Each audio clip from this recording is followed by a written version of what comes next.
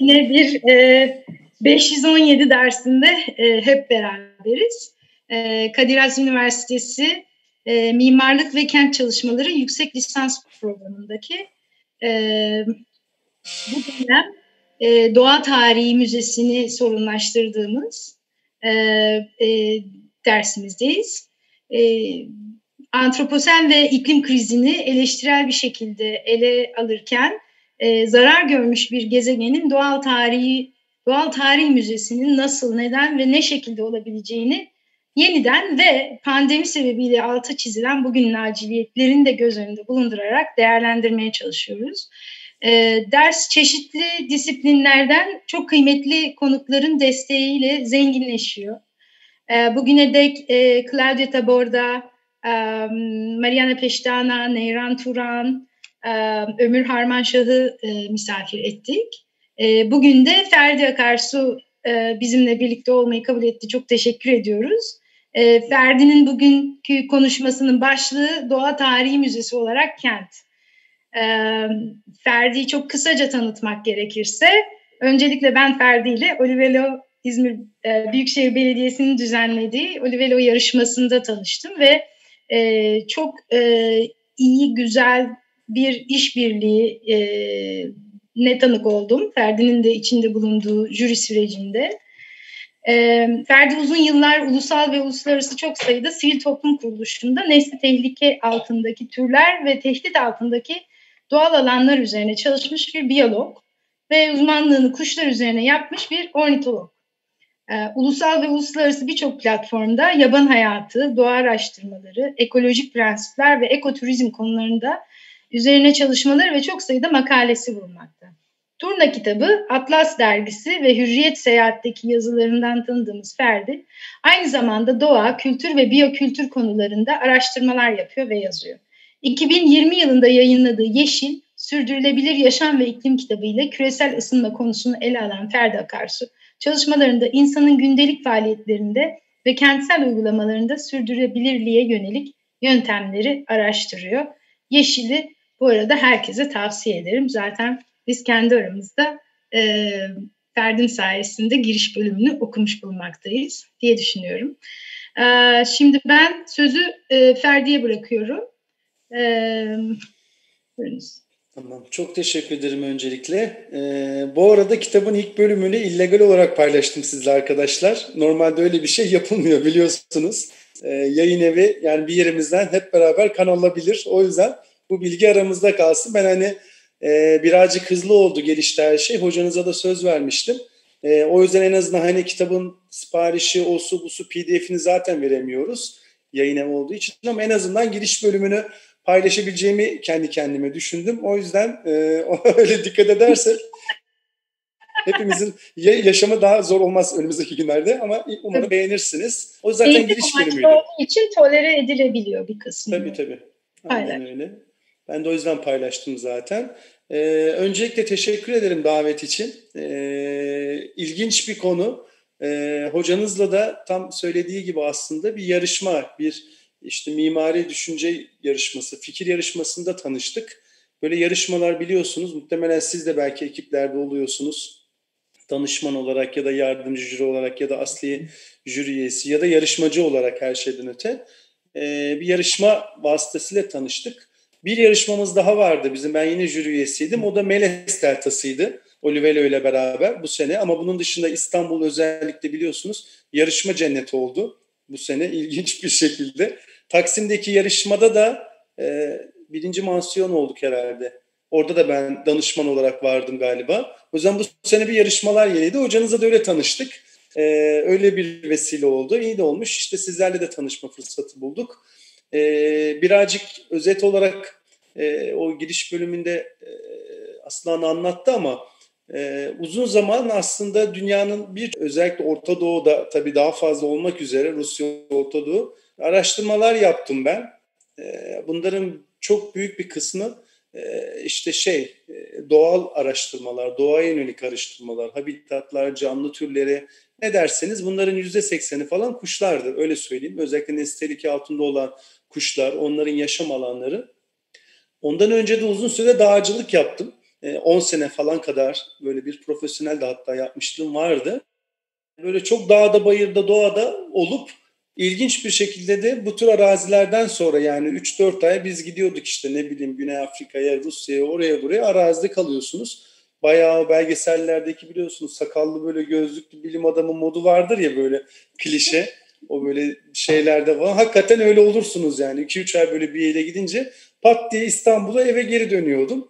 Böyle bir her seferinde kafamda böyle şimşekler çakıyor. Çünkü yani dünyanın en el değmemiş yerlerine gidiyorsunuz 2-3 ay. Benim işim özellikle oydu. Ona biz gap analizi istiyoruz. Boşluk analizi. Dünyada özellikle bilimsel bilgi açısından boş olan yani az data olan yerlere gidiyordum ben genelde Birleşmiş Milletler'in çoğu projesinde. Dolayısıyla boştu yani insan yoktu hiçbir şey yoktu. Biraz yaban vardı. İnsan namına da bu bizim indigenous dediğimiz yerli ya da işte bu seminomatlar, nomatlar dediğimiz e, insanları görebiliyordunuz. Zaten çok kente dair bir şey de yoktu.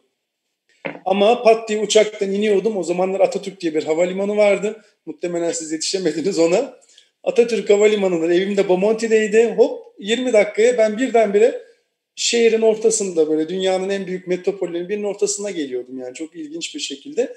Bunu niye anlatıyorum biliyor musunuz? Bu o kadar yıl dağda bayırda çalışıp böyle gerçekten Allah'ın unuttuğu tabiriyle hani yerlerde birdenbire kente gelince bir insan afallıyor ve her seferinde ben de şimşekler çakıyordum. Bu hiç değişmedi. Hala mesela bir yerlere gittiğim zaman araziye hala o havaalanına inim, o uçağa bineyim ya da ne bileyim o Taksim'i göreyim falan vesaire. Böyle bir bir, bir yanlışlık var bu işte ya. Hani bir, bir, bir şeyler oluyor ama bu çok mu hızlı oluyor ya benim mi kafam almıyor? Böyle bir oturmayan bir şeyler oluyordu kafamda. Sonra yavaş yavaş o durum 2010'lardan itibaren özellikle benim de sürülebilirlik çalışmaya başlamamla özellikle bu Birleşmiş Milletler kariyerimle beraber öyle söyleyeyim FAO, Birleşmiş Milletler, başka işte Amerika'daki birkaç tane başka kurum var. IUCN gibi, CI gibi, Conservation International, ICF gibi. Onlarla da çalışmaya başlayınca bu sürdürülebilirlik nedir, ne değildir falan filan artık bu kente bakış birazcık bende değişmeye başladı. Yani hep dağ bayıra, doğaya aşığız. Sizler de eminim zaten sevmeyen yoktur herhalde. Yani burada kimse ben doğayı sevmiyorum de, diyeceğini sanmıyorum. Ama bir yandan da kenti de seviyoruz. İşin garip tarafı bu. Özellikle benim gibiyseniz düşünsenize 15-20 yılınız hala bile öyle çok büyük oranda. En az her yılın 5-6 ayı e, dağda, bayırda, ormanda, çölde falan geçiyor ama kenti de seviyorsunuz yani bir yandan. Hani bu bir şey mi, gariplik mi falan diye düşünüp ederken bir de bu profesyonel olarak bu sürdürülebilirlik işlerine bulaşırken yavaş yavaş dünyanın gidişatını görmeye başladım. Bu zaten sadece benim gördüğüm bir şey değildi. Mimarlarda, plancılarda, biyologlarda özellikle bu küresel iklim kriziyle beraber e, bir şeylerin il, ilginç bir şekilde e, ortak olmaya başladığını gördü. Çünkü dünya eskiden şunun açlığını çekiyordu. Özellikle büyük bu faşist liderler, totaliter yönetimler falan hep böyle kendilerini dünyanın en ünlü, en böyle öyle bir e, gücü olsun ki aynı anda tüm dünyayı etkilesin isterdi o insanlar. Yani bizim zamanımızda hatta okuduğunuz zaman eskisinde de. Ama hiçbiri bu güce nail olamamış. Yani ne Ramses olabilmiş, ne Tito olabilmiş. Aklınızda kim gelirse hep lokal olarak kalmış etkileri yani öyle düşünün. İskender bile Hindistan'a gidebilmiş. Oradan öteye geçememiş işte abi. Ondan sonra ama İnsanoğlu bu hayalini ilginç bir şekilde 1970'lerden 80'lerden sonraki daha önce var ama kayıtları e, tutulan kayıtlarımız var çünkü ta Antarktikalardan düşünün yani 1800'lere dayanan e, hava gözlem tahmin falan rakamları var. Türkiye'de bunlar yok ama uzun süre Amerika'da özellikle Rusya'nın kuzey kısımlarında falan tutuluyor bunlar belli nedenlerden. Çoğu da askeri nedenler. Onu da söyleyeyim öyle çok bilimsel bir kaygıyla da olmamış o zamanlar ama dolayısıyla nur topu gibi ortak bir sorunumuz çıkıyor arkadaşlar. Dünyanın hayal ettiği o öyle ortak sorun.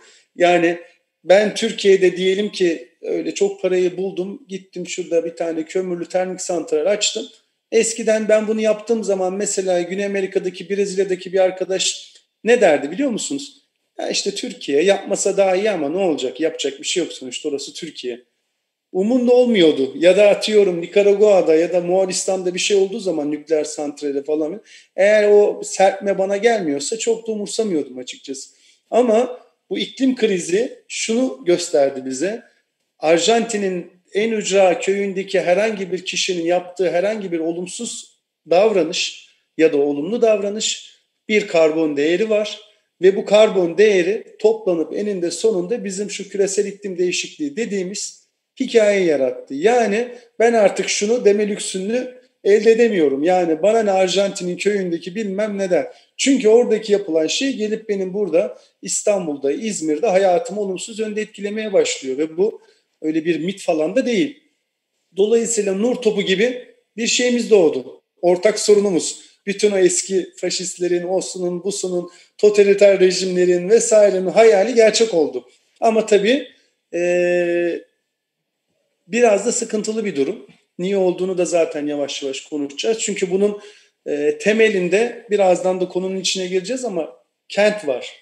Yani büyük oranda öyle söyleyelim. E, kent, kente dayalı olan bizim davranış değişikliklerimiz, e, kente bakışımız, doğaya bakışımız büyük oranda da bunu konuşuyor olacağız. Ben böyle bir hani iklime e, niye, nereden bağlayacağımızı e, girelim istedim. Öyle bir e, yapmak istedim ama öyle bir hatta film var. Galiba Costa Rica'nın filmiydi. Kentle ilgili çok duyduğum ilginç tanımlardan biri. Hani böyle kent insanlar her istediklerini satın alabilsinler diye olmuş bir şeydir diyor. Mesela o filmi de ben size Galiba şeydi. Söz ismi de. Linkini hocanıza gönderirim. Çok da güzel bir filmdir. Costa Rica'nın filmi. Evet sözdü galiba.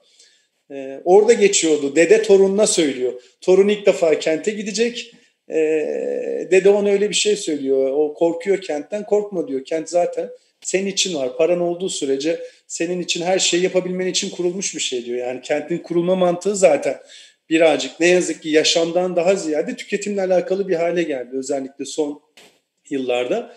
E, bu müze hikayesini ve kent hikayesini ve doğa hikayesini ve küresel iklim değişikliği hikayesinin aslında birazcık dayanıp birbirine bağlandığı yer burası oluyor. Öyle söyleyeyim. Niye müzeye dayandığı kısmına da birazdan geliyor olacağım ama kent ve iklim değişikliği çok birbirinin içinde ayıramıyorsunuz. Yani ayırmak isteseniz de yapamazsınız bunu. Çünkü birçok davranış kalıpları kentle beraber gelişiyor. Kent insanı denen bir şey var biliyorsunuz. Kırsal insan var, yerel insan var, kent insanı var vesaire. Ee, dediğim gibi yaptığımız herhangi bir küçücük faaliyet bile o kentte ya da o yaşam alanımızda bizim evimizde falan bir karbon değeri var artık ve bunun bir borsası var. Belki biliyorsunuz, belki bilmiyorsunuz. Bayağı karbon borsaları var arkadaşlar. Şu anda bireysel olarak çok az ülkede var ama ülke ve şirket bazında o borsaya üye oluyorsunuz. Bir karbon sizin hakkınız, değeriniz var. Eğer hakkınızı arayıp geçtiyseniz ya da arttırdıysanız falan parayla alıp satabiliyorsunuz. Bayağı bildiğiniz borsa. Hani size borsayı anlatmayacağım şimdi. Bayağıdır da var. Dolayısıyla aslında yaptığımız her şeyin bir maddi karşılığı ve bir karbon karşılığı var. Ve bunların çok büyük bir oranı da e, kentte olup bitiyor. Ve ileride çok çok daha büyük bir oran olacak. Onu da ikinci sunumda size anlatıyor olacağım. Böyle bir küçük giriş yapmak, böyle bir istedim iklimi. Birazcık benim kitabımda da e, böyle giriyor. Hocanız da zaten size söyleyecektir ama sunum esnasında herhangi bir yerinde durdurup yani sorabilirsiniz. Görüyorum şu anda hepiniz mute'sunuz ama e, herhalde öyle bir şeyiniz, işaretiniz falan filan var. Çünkü birazcık böyle bir konu bu. Kent hepimizin. Bunun bir uzmanı da yok. Bu arada onu da birileri size söylerse inanmayın.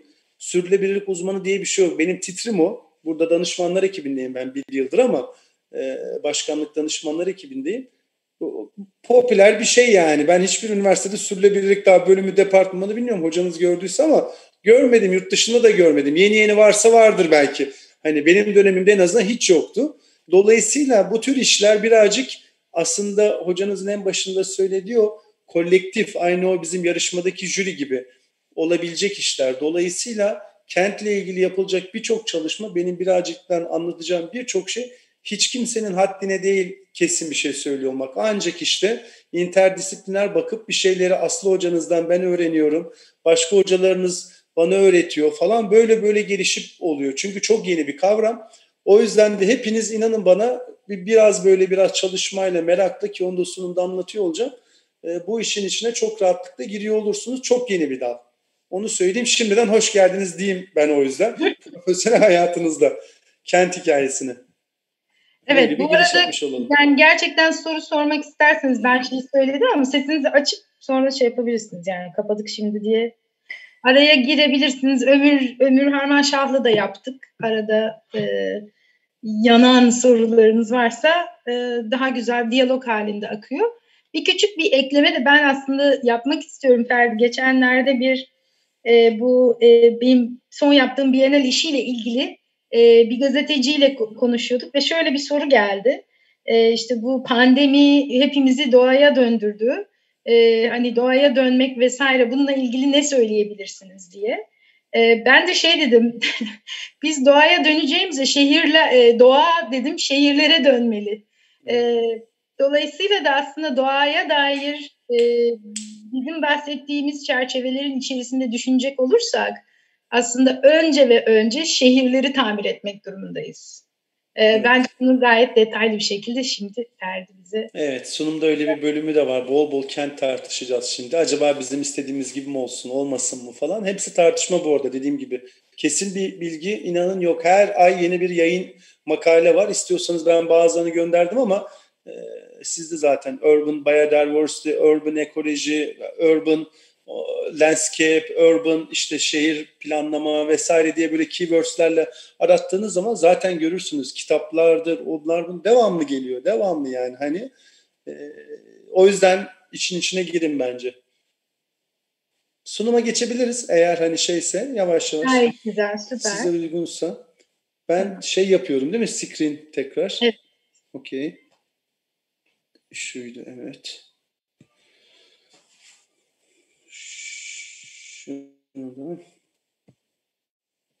Oldu mu? Tamam. Şimdi başlığını itiraf etmem gerekiyor. Öncelikle hocanızın yardımıyla bulduk. Ee, onu söylemem lazım. Çünkü şey e, dediğim gibi konu böyle biraz e, müze, kent, ekosistem yani hakikaten çok bir yandan da geniş, çok bir yandan da niş bir konu. O yüzden ben de birazcık hastalıklı bir dönemime denk gelmiştim. Öyle çok IQ seviyemin çok yüksek olmadığı zamanlardı. Öyle söyleyeyim. Ee, hocanız sağ olsun yardım etti. Ben böyle kafamdakileri anlatınca o biraz yönlendirdi. Böyle bir başlık bulduk. Çünkü böyle jenerik başlık bulma konusu ilginçtir. Bazı insanlar daha yeteneklidir bu konuda. Hani mesela ben hiçbir zaman öyle başlık bulma konusunda hayatımda yetenekli olamam. Altını doldururum mesela. 15 saat anlatırım o başlığı ama o başlık benden kolay çıkmaz. O yüzden başlık hocanızın eseri onu söyleyeyim. Teşekkür ederim en başında. Sağ olsun onun yardımıyla geldi. Sağdaki fotoğraf da e, benim sevdiğim benim bir tane fotoğrafım. Fotoğraflardan biri. E, bence böyle birazcık hayatımızı anlatan ilginç fotoğraflardan biri. Bakın orada çöp toplayıcılar var. O arkadaşlar dünyanın e, algısal olarak en pis işini yapıyor gibi görünseler de bence dünyanın en temiz işini yapan ve dünyanın bilinen ilk sürülebilirlik işçileri. Hala da hani böyle bir gerçekten sürülebilirlik koordinatörü, sürülebilirlik direktörü falan yazıyor bizim titrerimizde. Eğer gerçekten bir şeyin başına sürülebilirlik koyulacaksa titre olarak bu arkadaşlarınki kesinlikle o. Yani benimki değil onu söyleyebilirim. E, çünkü zaten yaptıkları iş daha sürülebilirliğin adı yokken ortalıkta onu yapıyorlardı. Gerçekten de geri dönüşüm işçileri başka bir isim de verebilirsiniz. Yavaş yavaş hakları da dünyada teslim ediliyor. Onun örneklerini de belki sunum sonunda merak edeniniz olursa açıklarım. O bakın fotoğrafta bir tane motosiklet var kenardan gidiyor elektrikli. Orada bir tane hanımefendi pandemi dönemi maskeli elinde alışverişten çıkmış geliyor. Bakın yerdeki uygulamaya bilmiyorum sizler de bu tür uygulamalarda ne yapıyorsunuz ama çoğu beton orada bir tane geçirimli yüzey var. Yani böyle aslında böyle tam bir Orta Doğu, tam bir Türkiye, tam bir Güney Amerika ve tam bir diyebilirim ki size Güneydoğu Asya yani benim gezdiğim yerlerde. Böyle bir şeyler yapılmış belli ki bir geçirimli yüzey falan duyulmuş bir yerlerden. Hani iyi bir şey bu geçirimli yapalım ama ama bir ucundan olsun. Ama bak böyle kare yapınca aslında daha şekil daha güzel yani işlevden. Böyle sanki bakın öyle öyle yerleştirmişler. Böyle kare yapmak için yani. Aslında onlar geçirimli yüzeylerdir. E, kentçilikte, kent uygulamalarında, parkta, bahçede çok büyük işlevleri vardır. Yani hani ayrı ayrı belki dersiniz var, belki bir yerlerde okudunuz ya da hocanız size başka zaman detaylı anlatır. Ben o detaya girmeyeceğim ama bu şekil şemal için genelde kullanılmaz öyle söyleyeyim. Ama şimdi biz ülkemiz olunca seviyoruz da böyle artistik işleri. O yüzden bu fotoğraf benim hep hoşuma gider. Böyle bir hani böyle bir kent kent müzesi falan ya bence mesela şurası birazdan sunumun sonunda anlatacağım ama bir müzenin bir enstalasyonu gibi şuraya baktığım zaman ben görünce. Çünkü o kadar eski şeyler görüyorum ki bir yandan sosyoekonomik bir tespit var. Bir yandan orada bir kent planlamasına dair, bir peyzaja dair orada bir e, faaliyet yapılmaya çalışmış. Orada bir sosyolojik bir durum var bakın. Apartmanların şekli şemali var gördüğünüz gibi bir mimari bir orada bir şey yapılmaya çalışmış. Tek e, tip bir e, yüzey uygulaması moda oldu ya biliyorsunuz Türkiye'de son 20 yıldır artık böyle ünlü caddelerde tek bir yüzey tipine geçiyoruz. Tek bir şey tipine falan filan. Dolayısıyla böyle bence hisseli harikalar kumpanyası. Belki siz bunu bilmiyorsunuz ama hocanız onu da size bir gün anlatır. Böyle eski bir kaberedir bu hisseli harikalar kumpanyası. Çok da güzel de şarkısı vardır. Böyle bir yamalı bohça gibi. O yüzden hani bir müze konusuna bu fotoğrafla böyle bir girmek istedim ben. E, o bir yerlerde de dursun bence hep aklımızda. Şimdi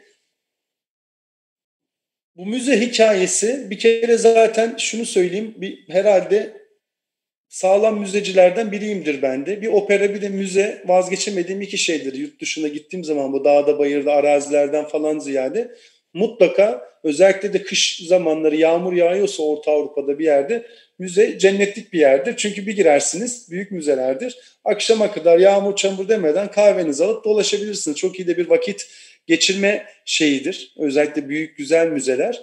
Ee, ama bu müzeleri geziyor ediyorken bakın şu fotoğrafa da bir soldaki o hayvanın e, biblosu sağdaki kendisi. Şimdi o sağdaki fotoğraf gerçek arkadaşlar. Photoshop değil orası Mumbai. O da bir leopar. O arkadaki de apartman. Araları da yaklaşık 30 metre o fotoğrafla apartmanın. E, şimdi niye o fotoğrafı koyduğumu da anlatacağım. Soldaki de aynı hayvanın bir enstalasyonu yani bir işte şeyinin bir şeklinin sanatsal ya da işte arkeolojik bir kalıntısının e, biblosu. Şimdi bu müze hikayesine birazcık biz buna böyle birazcık dip ekoloji gerektiğini düşünüyorum. O müzenin özellikle şöyle bir işlevi var ki bence o kısımda tartışılacak bir tarafı yok.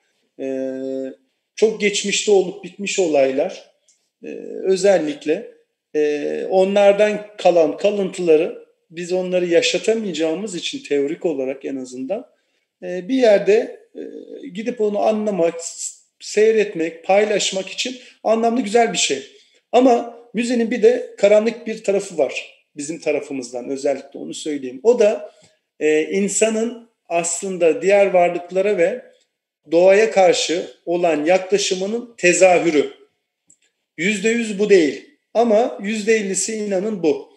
Dediğim gibi çok yararlı bir tarafı var. Ben de seviyorum. Geçmişten gelen özellikle birçok canlının ya da işte kültürün bir e, arkeolojik kalıntının falan vesairenin bir yer de gösteriliyor olması okey ama özellikle canlı türlerine ve doğal e, varlıklara yönelik olarak bu sergilemede özellikle bu bir hayvanı yakalayıp da öldürüp de eskiden yapılıyordu. Birazdan anlatıyor olacağız.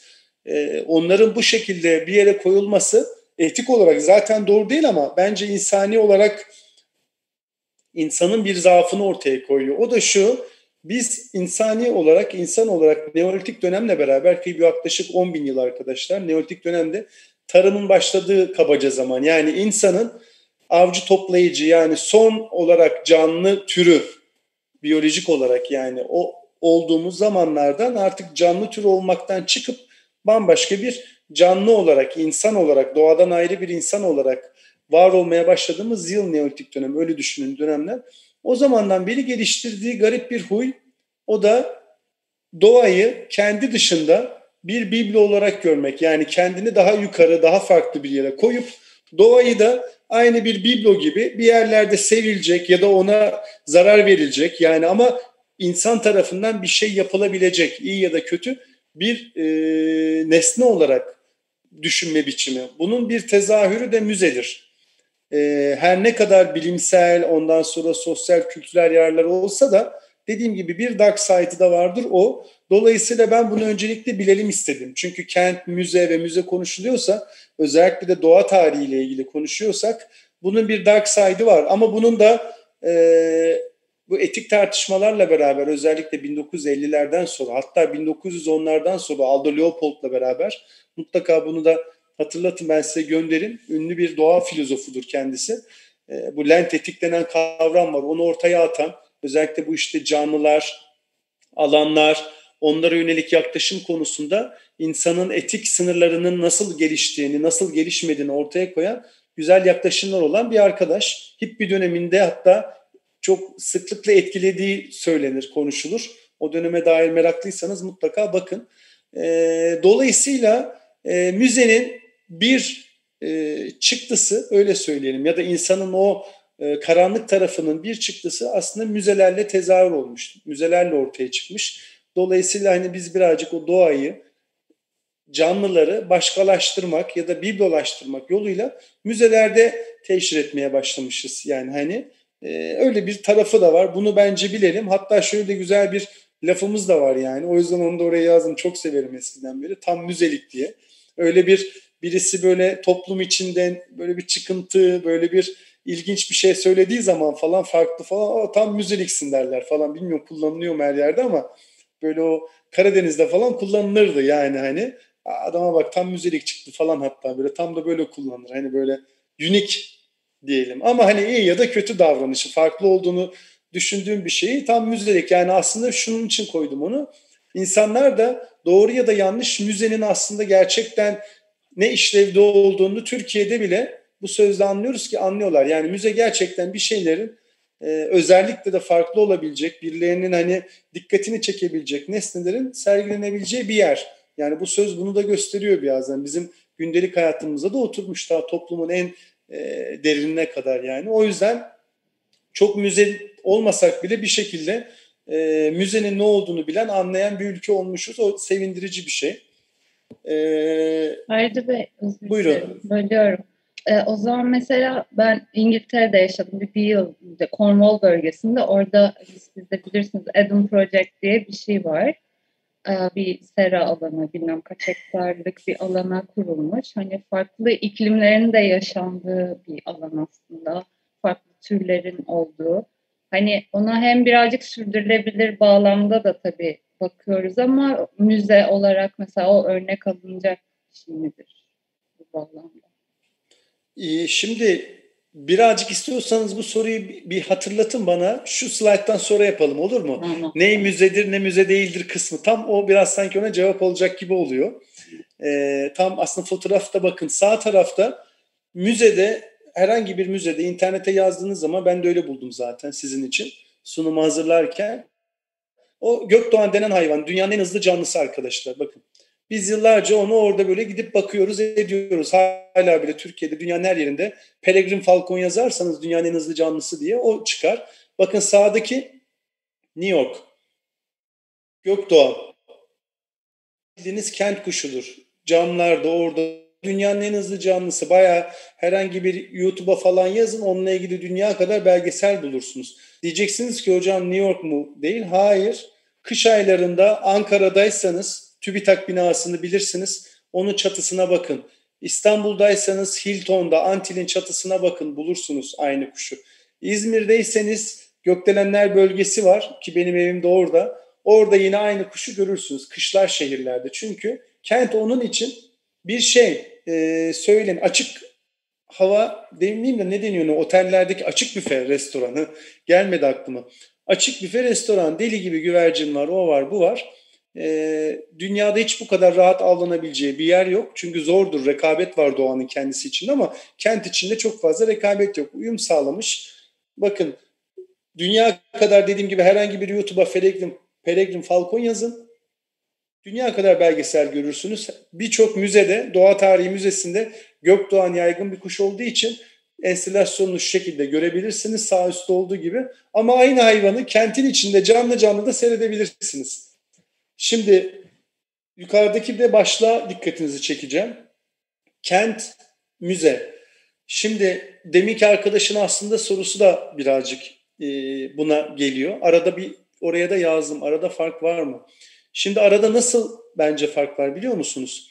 Ee, aslında ilk slaytta küçücük ona değindim. Diyelim ki 15 bin yıl önce olmuş bitmiş belki bir yaşamış bir T-Rex'tir, ondan sonra bir e, yerli kabiledir vesairedir. E, olmuş bitmiş biz sadece onların kanıt, kanıtlarını biliyoruz. Yani onu bizim artık yaşatma şansımız falan yok. Doğada görme şansımız da yok. E, böyle bir e, obje elbette aynı sağ üstteki de gördüğümüz gibi bir müzede e, bize çok güzel anlatabilir her şeyi. Hatta bunu böyle birazcık da interaktif uygulamalarla içine kadar da girebiliriz. Daha böyle gerçekçi olur, üç boyutlu vesaire.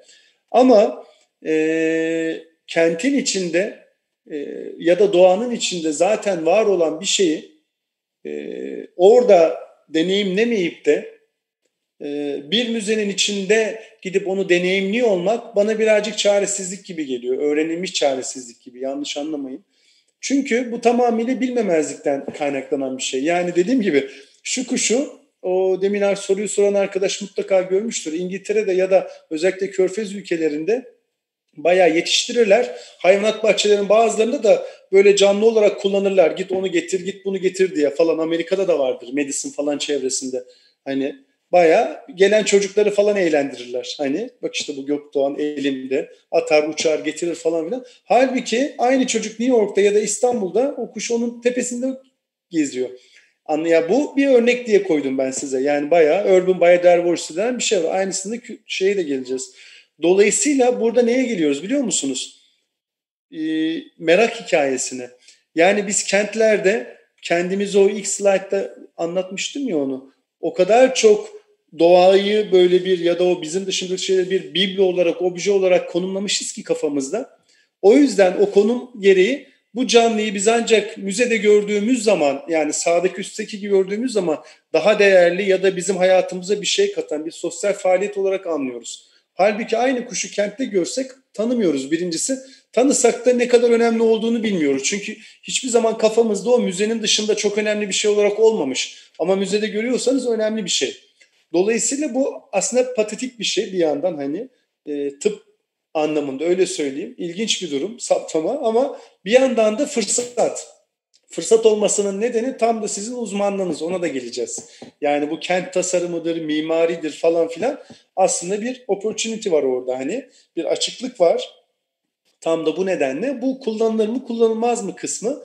Dolayısıyla çok kabaca bu kent müze böyle bir giriş yapmış oldum. Arada fark var mı? Kent aynı zamanda müze mi değil mi? Böyle bir bir örnekle girdik. Birazdan daha olgunlaştırmaya çalışacağım. E, arada yine sorularınız varsa daha böyle yine küçük küçük sorabilirsiniz direkt. Şimdi bu bizim isteyerek bilerek yaptığımız bir şey değil arkadaşlar. Onu söyleyelim. Yani gelişimin önünde birincisi duramıyorsunuz. Bu bir çok klasik bir şeydir. E, sosyoloji tabiridir. Duramazsınız yani. Yavaşlatırsınız. Ne bileyim savaşlar olur belli bir süre e, çok az ilerler ama bir şekilde ilerler. Yani o bir garip bir hikaye o öyle söyleyeyim. İlerliyor. Dolayısıyla biz istesek de istemesek de küresel iklim değişikliği olsa da olmasa da ki var. Biyoçeşitlilik kaybı, kültürel kayıplar, işte kültürel zenginliklerin yok oluşu var mı? Var. Ama olmasa dahi ilginç bir şekilde bir şeyler değişiyor devamlı. Ee, bakın kent nereye gidiyor aslında dedim. Onun da aslında gelme noktası şuna çıkıyor. Onu söylemek lazım. Eskiden kent dediğimiz yer birazcık o filmde bahsettim ya Zavet geldi aklıma. Ee, orijinal ismi de Zavet söz. Costa Rica tamam o filmi bulun. Çok güzel filmdir. Tam böyle kent kırık ilişkisini anlatıyor. Zavet diye yazılıyor. Sonradan geliyor kusura bakmayın bu şeyden dolayı Lazlık da var galiba. Biraz hep sonradan düşüyor benim jetonlar. İnsan yerleşiminden kent ekosistemi ne diye gidiyor. Çünkü anlat birazcık buna girdik. Kent eskiden hiç umurunda değildi kentin. Ee, içinde kuş varmış, yeşilmiş, falanmış filanmış. Sadece bir objeydi o bizim için. Yani yeşil olursa gözümüze güzel görünüyor. Parkta olsun, çoluk çocuk oynasın. İşte birazcık da hani öyle baktığımız zaman temiz hava alalım falan filan. Öyle bir şeyken e, belli nedenlerden dolayı bu ki bu neden işte bu ne yazık ki e, doğadaki kaynakların çok hızlı bir şekilde sürülemez bir şekilde kullanılması buna mütakip olarak da iklimin inanılmaz bir şekilde hızlı yani yaklaşık bir küsür derece oldu şu anda 1950'lerden bu yana artış ve bu kötü senaryoyla 2000 işte bu, bu yüzyılın sonuna kadar bu yaklaşık bir derece artacak. O da iyi senaryoyla yani. Dolayısıyla kent bir şekilde bizi buraya getirdi. O da nereye getirdi biliyor musunuz? Ekosistem olayına. E, muhtemelen siz bunu derslerde işliyorsunuz ya da işlemediyseniz de mutlaka keywords olarak alın bunu. Böyle bir aratın ekosistem nedir diye. Şimdi yerleşim yeri çok fonksiyonel bir şey. İnsanın e, bir yerde yaşaması gerekiyor. İnsan da sosyal bir canlı. Önce köyler, sonra ilçeler, sonra kentler, metropoller diye klasik bildiğiniz bir e, şeyle takip ediyor bu yerleşim hikayesi dünyada. Bunun bazı istisnaları var. Kentten kıra kaçmalar, ikincili konutlaşmalar falan filan. Eminim zaten derslerde falan siz bunları irdeliyorsunuzdur. Detaylı falan böyle hani ona göre mimarlığını, planlamasını. Ama ilginç bir yönelim var. Bunu bunu söyleyeceğim. İnsan yerleşimleri artık arkadaşlar ilginç bir şekilde ekosisteme doğru evriliyorlar. Şimdi ekosistem öyle kolay kolay e, işte Aslan hocanızı beni danışman olarak alıp üzerine de 2 milyon dolar koyup yapabileceğiniz bir park değil. Hani anlatabiliyor muyum? Öyle bir danışmanlıkla bilmem ne uzmanlığıyla falan bayağı zor bir iştir. Çünkü ekosistem bir yaşam birliğidir. İçinde mesela örnek vereyim size. Oradan biraz daha şey yapın. Orman bir ekosistemdir. Mesela sulak alanlar bir ekosistemdir. Ormanda biz genelde sadece ağaç diyebiliriz ama onun mantarından toprağına, taşına, likenine, oradaki memelisine, kuşuna, ağaç kakanına kadar hepsinin oluşturduğu bir yaşam birliğidir ekosistem. Herhangi birini oradan aldığınız zaman zafiyet görülmeye başlar ekosistemde. Eğer o zafiyet giderilebilirse kendi açısından giderilir. Gidilemezse o ekosistem başka bir ekosisteme dönüşmeye başlar. Genelde de mesela örnek veriyorum ağaç kakanları siz toplarsanız o ağaç kakan yerine tırmaşı kuşunu koymaya çalışır orman. Koyamazsa ne olur biliyor musunuz? Kabukluların zararlıları, ağaç kabuklarının zararları artar, ağaçlar kurumaya başlar, orman kurur, yerine maki ekosistemi gelir. Yine bir şey gelir yerine, onu söyleyeyim. Kente de bu gözle bakın. Dolayısıyla kent eskiden sadece fonksiyon olarak insanın yaşamasını tahsis eden, kolaylaştıran ya da insanın ihtiyaçlarına karşılık veren bir yerken bir ekosistem haline dönmeye başladı. Bunun en temel 2-3 tane nedeni var. Bunu siz dört yapabilirsiniz bölerseniz. Ama şu arkadaşlar, insan ilginç bir şekilde, çünkü ilginç diyorum çünkü konfor alanının biraz dışına çıktığı da düşünülüyor bu konuda. Onu da siz tartışırsınız kendi aranızda. Türkiye için örnek vereyim isterseniz daha kolay olacak. 1950'lerden kırsal nüfusumuz bizim yaklaşık %30 oranında kent nüfusundan fazla. Bu oran yavaş yavaş azalıyor. 2011 yılına kadar 2011 yılda Türkiye için kırsa, kır ve kent nüfusu dengeleniyor. O vakitten sonra kent nüfusu artmaya başlıyor. Yani 2011'den sonra artık kentlerde yaşayan insan sayısı kırda yani kırsal alanlarda yaşayan köy vesaire gibi düşünebilirsiniz. Yaşayan insan sayısından fazla. Bu oranın bire bire yakın aynısı Birleşmiş Milletler ya da demografik böyle bir istatistiklere bakarsanız Wikipedia'da bile bulabilirsiniz. Dünyada da geçerli. Dolayısıyla insanoğlu hem üreme oranı artıyor, nüfus artıyor hem de bütün bu nüfusu kentlerde yaşamaya çalışıyor. Bu oran %80'lere varacak 2050 yılında. Yani dünya nüfusunun %80'i kentlerde yaşar hale gelecek. Bu inanılmaz bir şey. Şu anda bile kentlerin ne kadar büyüdüğünü görüyorsunuz. Dolayısıyla ne oluyor biliyor musunuz? Kent hem dikey olarak hem de yatay olarak yiyerek etrafını gelişiyor. Mesela şu solda gördüğünüz New York. Orası bildiğiniz eskiden mamutların dolaştığı falan bir yer. Çok da güzel bir körfez yani gideniniz geleniz varsa böyle bayağı bildiğiniz filmlerde dizilerde bile artık konu olmaya başladı New York'un o geçmiş zamanları falan mamutların o zamanları vesaire. İnanılmaz da bir doğa arkası bir yerdir. O gördüğünüz Central Park ortadaki de zaten çok klasik diye onu koydum.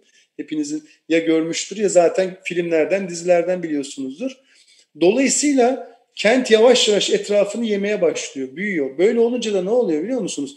İnsanın temel kaynağı olan su, hava, besin gibi şeyler yavaş yavaş azalıyor arkadaşlar. Çünkü bunları tedarik eden bize hala doğa. Yani bunun başka bir yolunu hala biz insan olarak bulamadık. Birinci nedeni bu. Dolayısıyla kentler bir ekosistem fonksiyonuna yavaş yavaş bürünmek istiyorlar. Çünkü kentleri besleyemiyor artık çevresi ve tarım alanları ve endüstri vesaire. İkinci en temel nedenlerden biri etik. insanlara artık etik değerler geliştirdiler.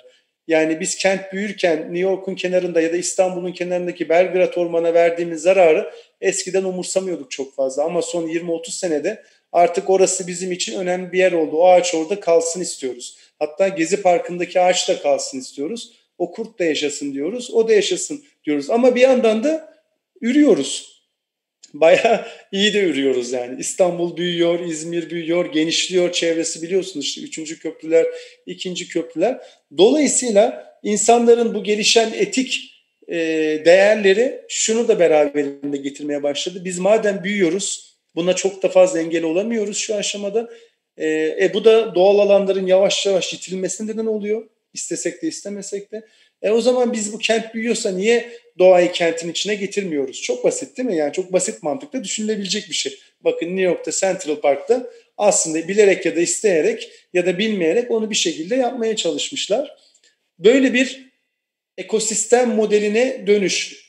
Onu söylemek lazım. Yani o yüzden de bakın bu sağ taraftaki mimari çizimler. Burası gerçek bir yer değil ama dünyanın buna benzer binaları İzmir'de orada burada görürsünüz. Şu anda varlar yani. Böyle bir yerlerine zeytin ağacı tutulmuş. 20. katında zeytinlerin o ilginç ilginç böyle tasarımlı bayağı binalar ben artık görmeye başladım. Tam böyle afilli görünmeseler de. Ee, ona doğru gidiyor. Dolayısıyla kent nereye gidiyor sorusunun cevabı sizin için kritik olan kısmı burası. Bir ekosisteme gidiyor. Ve bu yeni bir tasarım anlayışı demek arkadaşlar. Demin hocanızla böyle birazcık hafif girmeye başladık bu pandemiden dolayı işte bu online durumlar, sokaklar, arabalar. Düşünsenize eğer ben okula gitmeyeceksem, işe gitmeyeceksem artık araba niye var, yol niye var, sokak niye var? Ya da oradaki Starbucks niye var? Ben zaten hep evde duracaksam. E Starbucks yoksa sokak ne işe yarayacak? Oradaki dükkanlar neye işe yarayacak? Anlatabiliyor muyum? Hani hareketlilikle ilgili kentin bütün o aksı oluşturan aksta değişiklikler olabilir dünyada ki oluyor. Olmaya da başladı. Bu tamamıyla yeni bir dünya, yeni bir yaklaşım. Bu kent ekosistemine geçişin şöyle bir durumu var. Bu öyle yazıldığı kadar afilli olsa da yapması o kadar kolay bir şey değil. Çünkü hani hep bu sürülebilir kent diyoruz ya yeşil kentler falan, dirençli kentler. 50 tane tanımını bulursunuz internette. Hepsi de birbirine yakın şeylerdir. Ee, hiç kolay işler değil. Ee, bunlar tamamıyla işte şu anda hocanızın da size aslında beni davet etmesi, sizlerin değişik okumalar yapmanızın nedeni birazcık bu interdisipliner çalışmayla ancak geleceği bu şekilde var edebileceğimiz bir şey bu yaklaşım kent ekosistemi ama her şeyle yapmamız gerekiyor yani bunu ve zaten oraya doğru da gidiyor dediğimiz gibi birazcık daha örneklerine geleceğiz. Sorunuz var mı bu aşamada? Birazcık çünkü ağır bir şey söyledim. Böyle bir ekosistem kavramı falan. Benim var hocam. Buyurun hocam. Başka sorular da var galiba da. Bir geçerken bir deep ecology dediniz. Hı hı. Derin ekoloji. Onu bir kısaca açmak iyi olabilir herkes için. Derin tamam. ekolojiyi. Ee, yani, başka soru onu da alalım istersen. Hepsini bir arada cevaplayalım. Olur alalım soruyu da öyle yapalım. Yok ben de sadece şey soracaktım. E, kent bir ekosisteme doğru gidiyor derken pandemiyle çok ilişkilendirdiniz o anda anlatırken ama e, onunla mı gerçekten e, e, ilişkilendirdiğiniz yoksa arkasında başka bir şeyler de var muhakkak. Ee, var. Biraz uzun, çünkü hani bu yaz biter diyorlar. hani ne kadar odağımız diye. Şöyle var aslında. Şimdi birincisi pandemiyle ilişik dedim ya iklim, pandemi bunlar böyle akut işler olsa bile sonuçta bir şeylerin çıktısı. Yani pandemi kendi kendine olan bir şeyler istiyorsanız onda da zamanımız kalır. Sonunda onun doğal tahribatı olduğu için de bir ölçüde nasıl çıktığını anlatırım ama kentin ekosistem haline dönüşmesi aslında başlı başına pandemiden ve iklim değişikliğinden dediğim gibi farklı bir şey. İki tane temel nedeni var.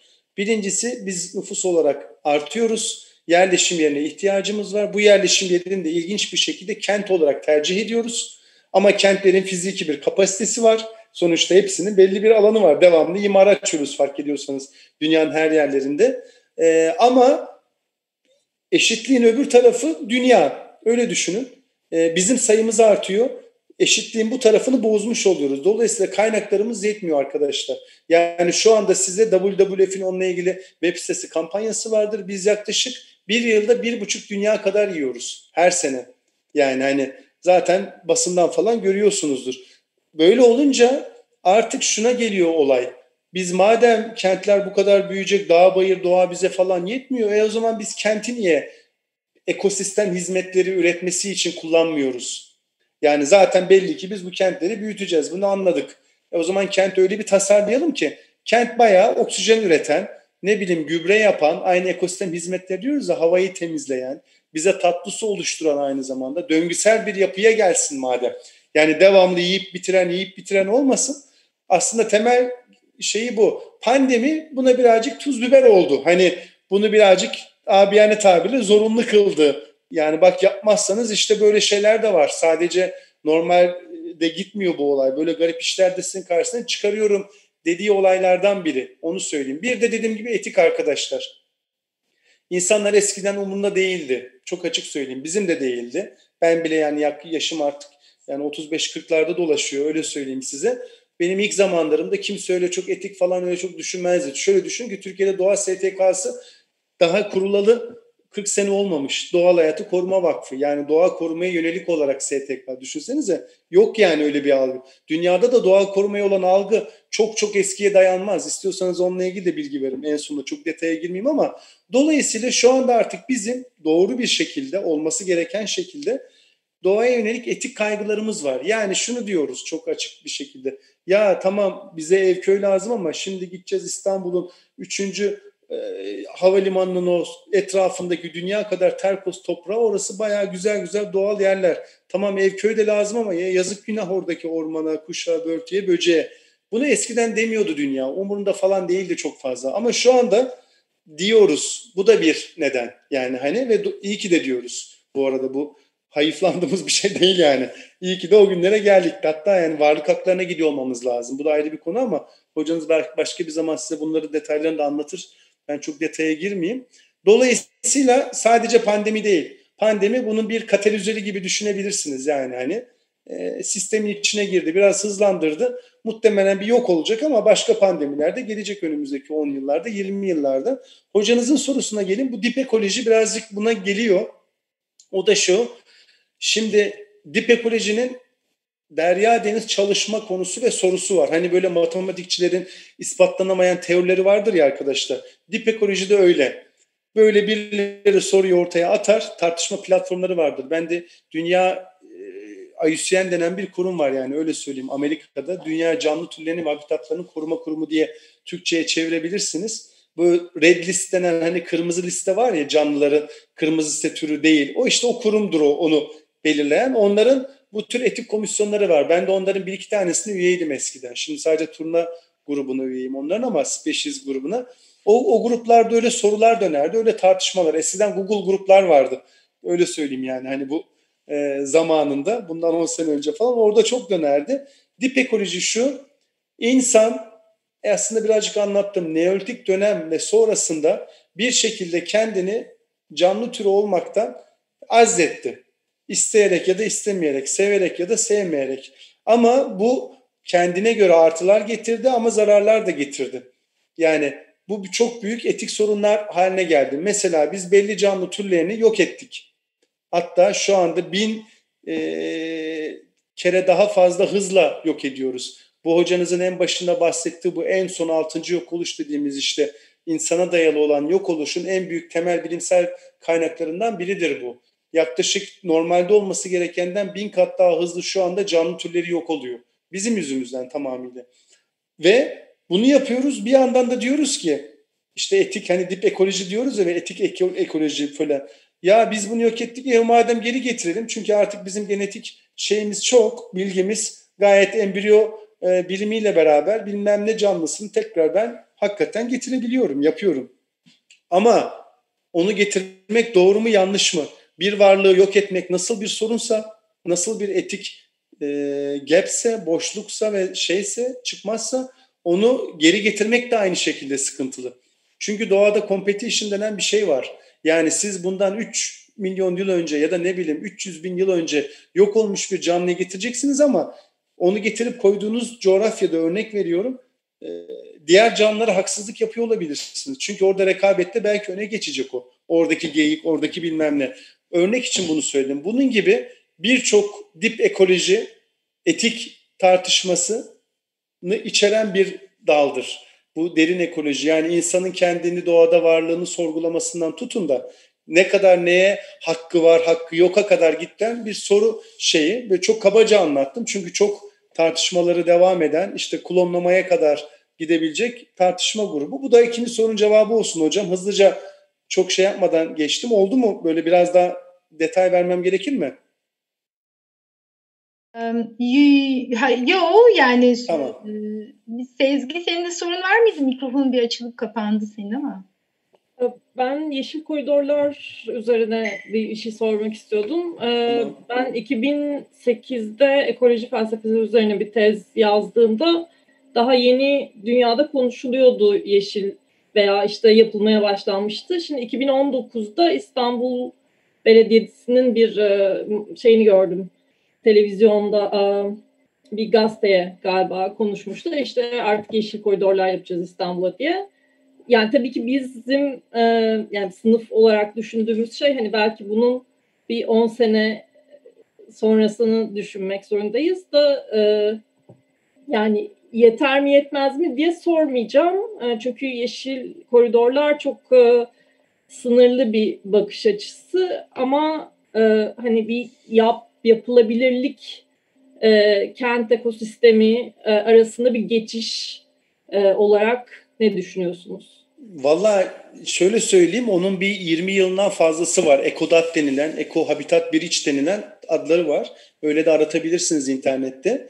Ee, ilk yapıldığı yer de Pozantı'nın ilerisinde e, Adana'ya giderken bir otobandı. Otobanın üzerinde. İlk Ekodat Türkiye'deki. Sonra işte Ankara İstanbul otobanın üzerine yaptılar. Şimdi İzmir Çeşme otobanın üzerinde var mesela. Büyük yollar üzerinde artık Türkiye'de bile Türkiye'de bile dememin özelliği bu. Çünkü bizde yapılıyorsa inanın daha önce 10-15 yıl önce bir yerlerde yapılmıştır o klasiktir. Ee, ama kent içindeki uygulamalarına gelince tam dediğiniz doğru çok yeni. Hatta bizim Meles yarışmasının e, adı ekolojik omurga olarak Meles deltası. Yani kent içinde ekolojik habitat köprüsü diyelim, ekodat diyelim. Sadece yapay yapmazsınız. Bazen Bunların doğal zaten olanları vardır fenomenleri. Ne, nehirler, dereler, işte bir orman parçası, bir tepe falan bunlar doğal olarak da bağlayabilirler yere. Ama kent için, İstanbul için olan durumu biliyorum. İzmir için de e, planları, belediyenin içinde danışmanlar ekibinde olduğum için biliyorum direkt bizatihi. Yapılmaya çalışanları. E, yararlı, yapılması elzem ama yeterli değil tek başına. Çünkü Adı üstünde bunlar habitat köprüsü. Ne demek bu? Parçalanmış gibi yerler biz onları birleştirelim. Değil mi? Yani hani mantığı o. Ama onun için kent içinde parçalanmış bir yerler bulmanız lazım.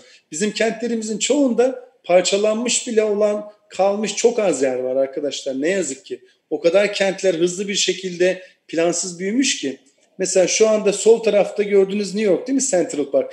Ben mesela oradaki habitat bir köprüsüyle çok rahatlıkla o iç yapıyı oradaki körfeze bağlayabilirim. Mantıklı hale gelebilir. Bakın orada bir imkan var. Ama ben şimdi İstanbul'un örnek veriyorum ya da İzmir'in çoğu yerinde zaten kilometrelerce sadece beton olmuş ve etrafında çeperin de çoğu yerinde dağın bayırın da artık tepenin de olduğu bir yerde habitat köprüsü yapmam çok kolay değil. Ama şunu yapabiliyorum. Kent ekosistemini yaratma yönelik olarak Hani bizim bu ağaçlandırma çalışmalarımız var ya siz de bazen kimi zaman planlanıyorsunuz. Sokaklara ağaçlar falan filan dikiyoruz. İşte o ağaçları öyle o yerenin e, kendi doğasına uygun olan canlıları, ağaçları yapıp kentin içinde plantasyon olsa bile bir ekolojik ağ oluşturabiliyorum. Bu tamamıyla bir ekosistem olmuyor ama ne yazık ki dediğim gibi o sadece plantasyon oluyor. Yani hani o da bir şeydir, örnektir belki hani Türkiye'de çok iyi bilinmez o olay. Biz bir ormanı yok ederiz. Bize yetkililer der ki ben onun yerine şuraya bir milyon tane ağaç diktim. Şimdi ağaç diktiğimiz yerin adı plantasyondur. Ama orman bir ekosistemdir. Plantasyonun orman ekosistemi olması minimum 50 yıldır arkadaşlar bizim coğrafyada. Almanya'da falan 2. Dünya Savaşı'nda kesilip sonradan ekilen plantasyonlar yeni yeni orman vasfı kazanıyor. Dolayısıyla kentin içinde de diktiğimiz şeyler plantasyon, ekosistem olmazlar hemen. Dolayısıyla yeterli sorunun cevabı elbette yeterli değil. Ama Bir yerden başlanması gerekiyordu. İstanbul başladı, İzmir başladı, biliyorum ki Ankara başlıyor. Ee, yararlı. Daha sonraları bence uygun yerler açılıp açılıp o dediğimiz parçalar bir araya getirilmeye başlanacak. Öyle söyleyeyim. Yeni imar uygulamalarıyla. Onun da güzel haberini vereyim. Artık İzmir için söyleyebilirim ki imar uygulamalarında bayağı bu tür parçaların gerektiklerine göre imar açılıp açılmama karar verilir hale geliyor. Yani neyse ki o artık başladı. Eskiden biz imar kararlarını siyasi, rant gibi nedenlerle verirdik. Yani verilirdi. Biliyoruz hepimiz bu ülkedeyiz. Artık o kriterlerden biri gerçekten yakınında yöresinde bir habitat var mı bağlanabilecek? Bir hani koruyabilir miyiz orada bir durumu falan ona evrilmeye başladı. Bu iyi haber. Ama başlangıç. Sorunun cevabı böyle olsun. Dünyayı kurtarmaz yani. E, bu plantas peki daha so daha sonra devam edip plantasyonun ormana dönüşmesi konusunda da ODTÜ e, ormanı iyi Hı. bir örnek. E, daha değil, daha değil ama olmadı o. Bilirim olmadı. ben Ankara'da da yaşadım. Yok daha değil. Yani ekosistem ne biliyor musunuz arkadaşlar? Bayağı bildiğiniz nefes alan, yaşayan, mantarıyla, taşıyla bütün o süreçlerin su döngüsü, azot döngüsü, fosfor döngüsü, ben şimdi sizlere sıkmamak için çok detaylı anlatmak istemiyorum. Bütün o döngülerin kendi içinde hiç insan müdahalesi olmadan kendi kendine var olabildiği bir sistem. Mesela biz genelde dedim ya birazcık asker mantığımıza ve plantasyon yaparız. Hepsi aynı çizgide. Bakın plantasyon hep bakın bayağı bildiğiniz esas duruşlar gibidir. Aralar hep 2-3 metredir falandır filandır böyle. O ne yapar biliyor musunuz? Orman pat diye siz onu monotipik yaptınız ya tek ağaç türü falan bir zararlı bir gelir. Zaten bunlar dip dibe ya yanında yöresinde de başka bir ağaç maaş da yok canlı da yok doğrusunun içinde. Birdenbire bir hastalık bütün o alanı yok eder. Klasik.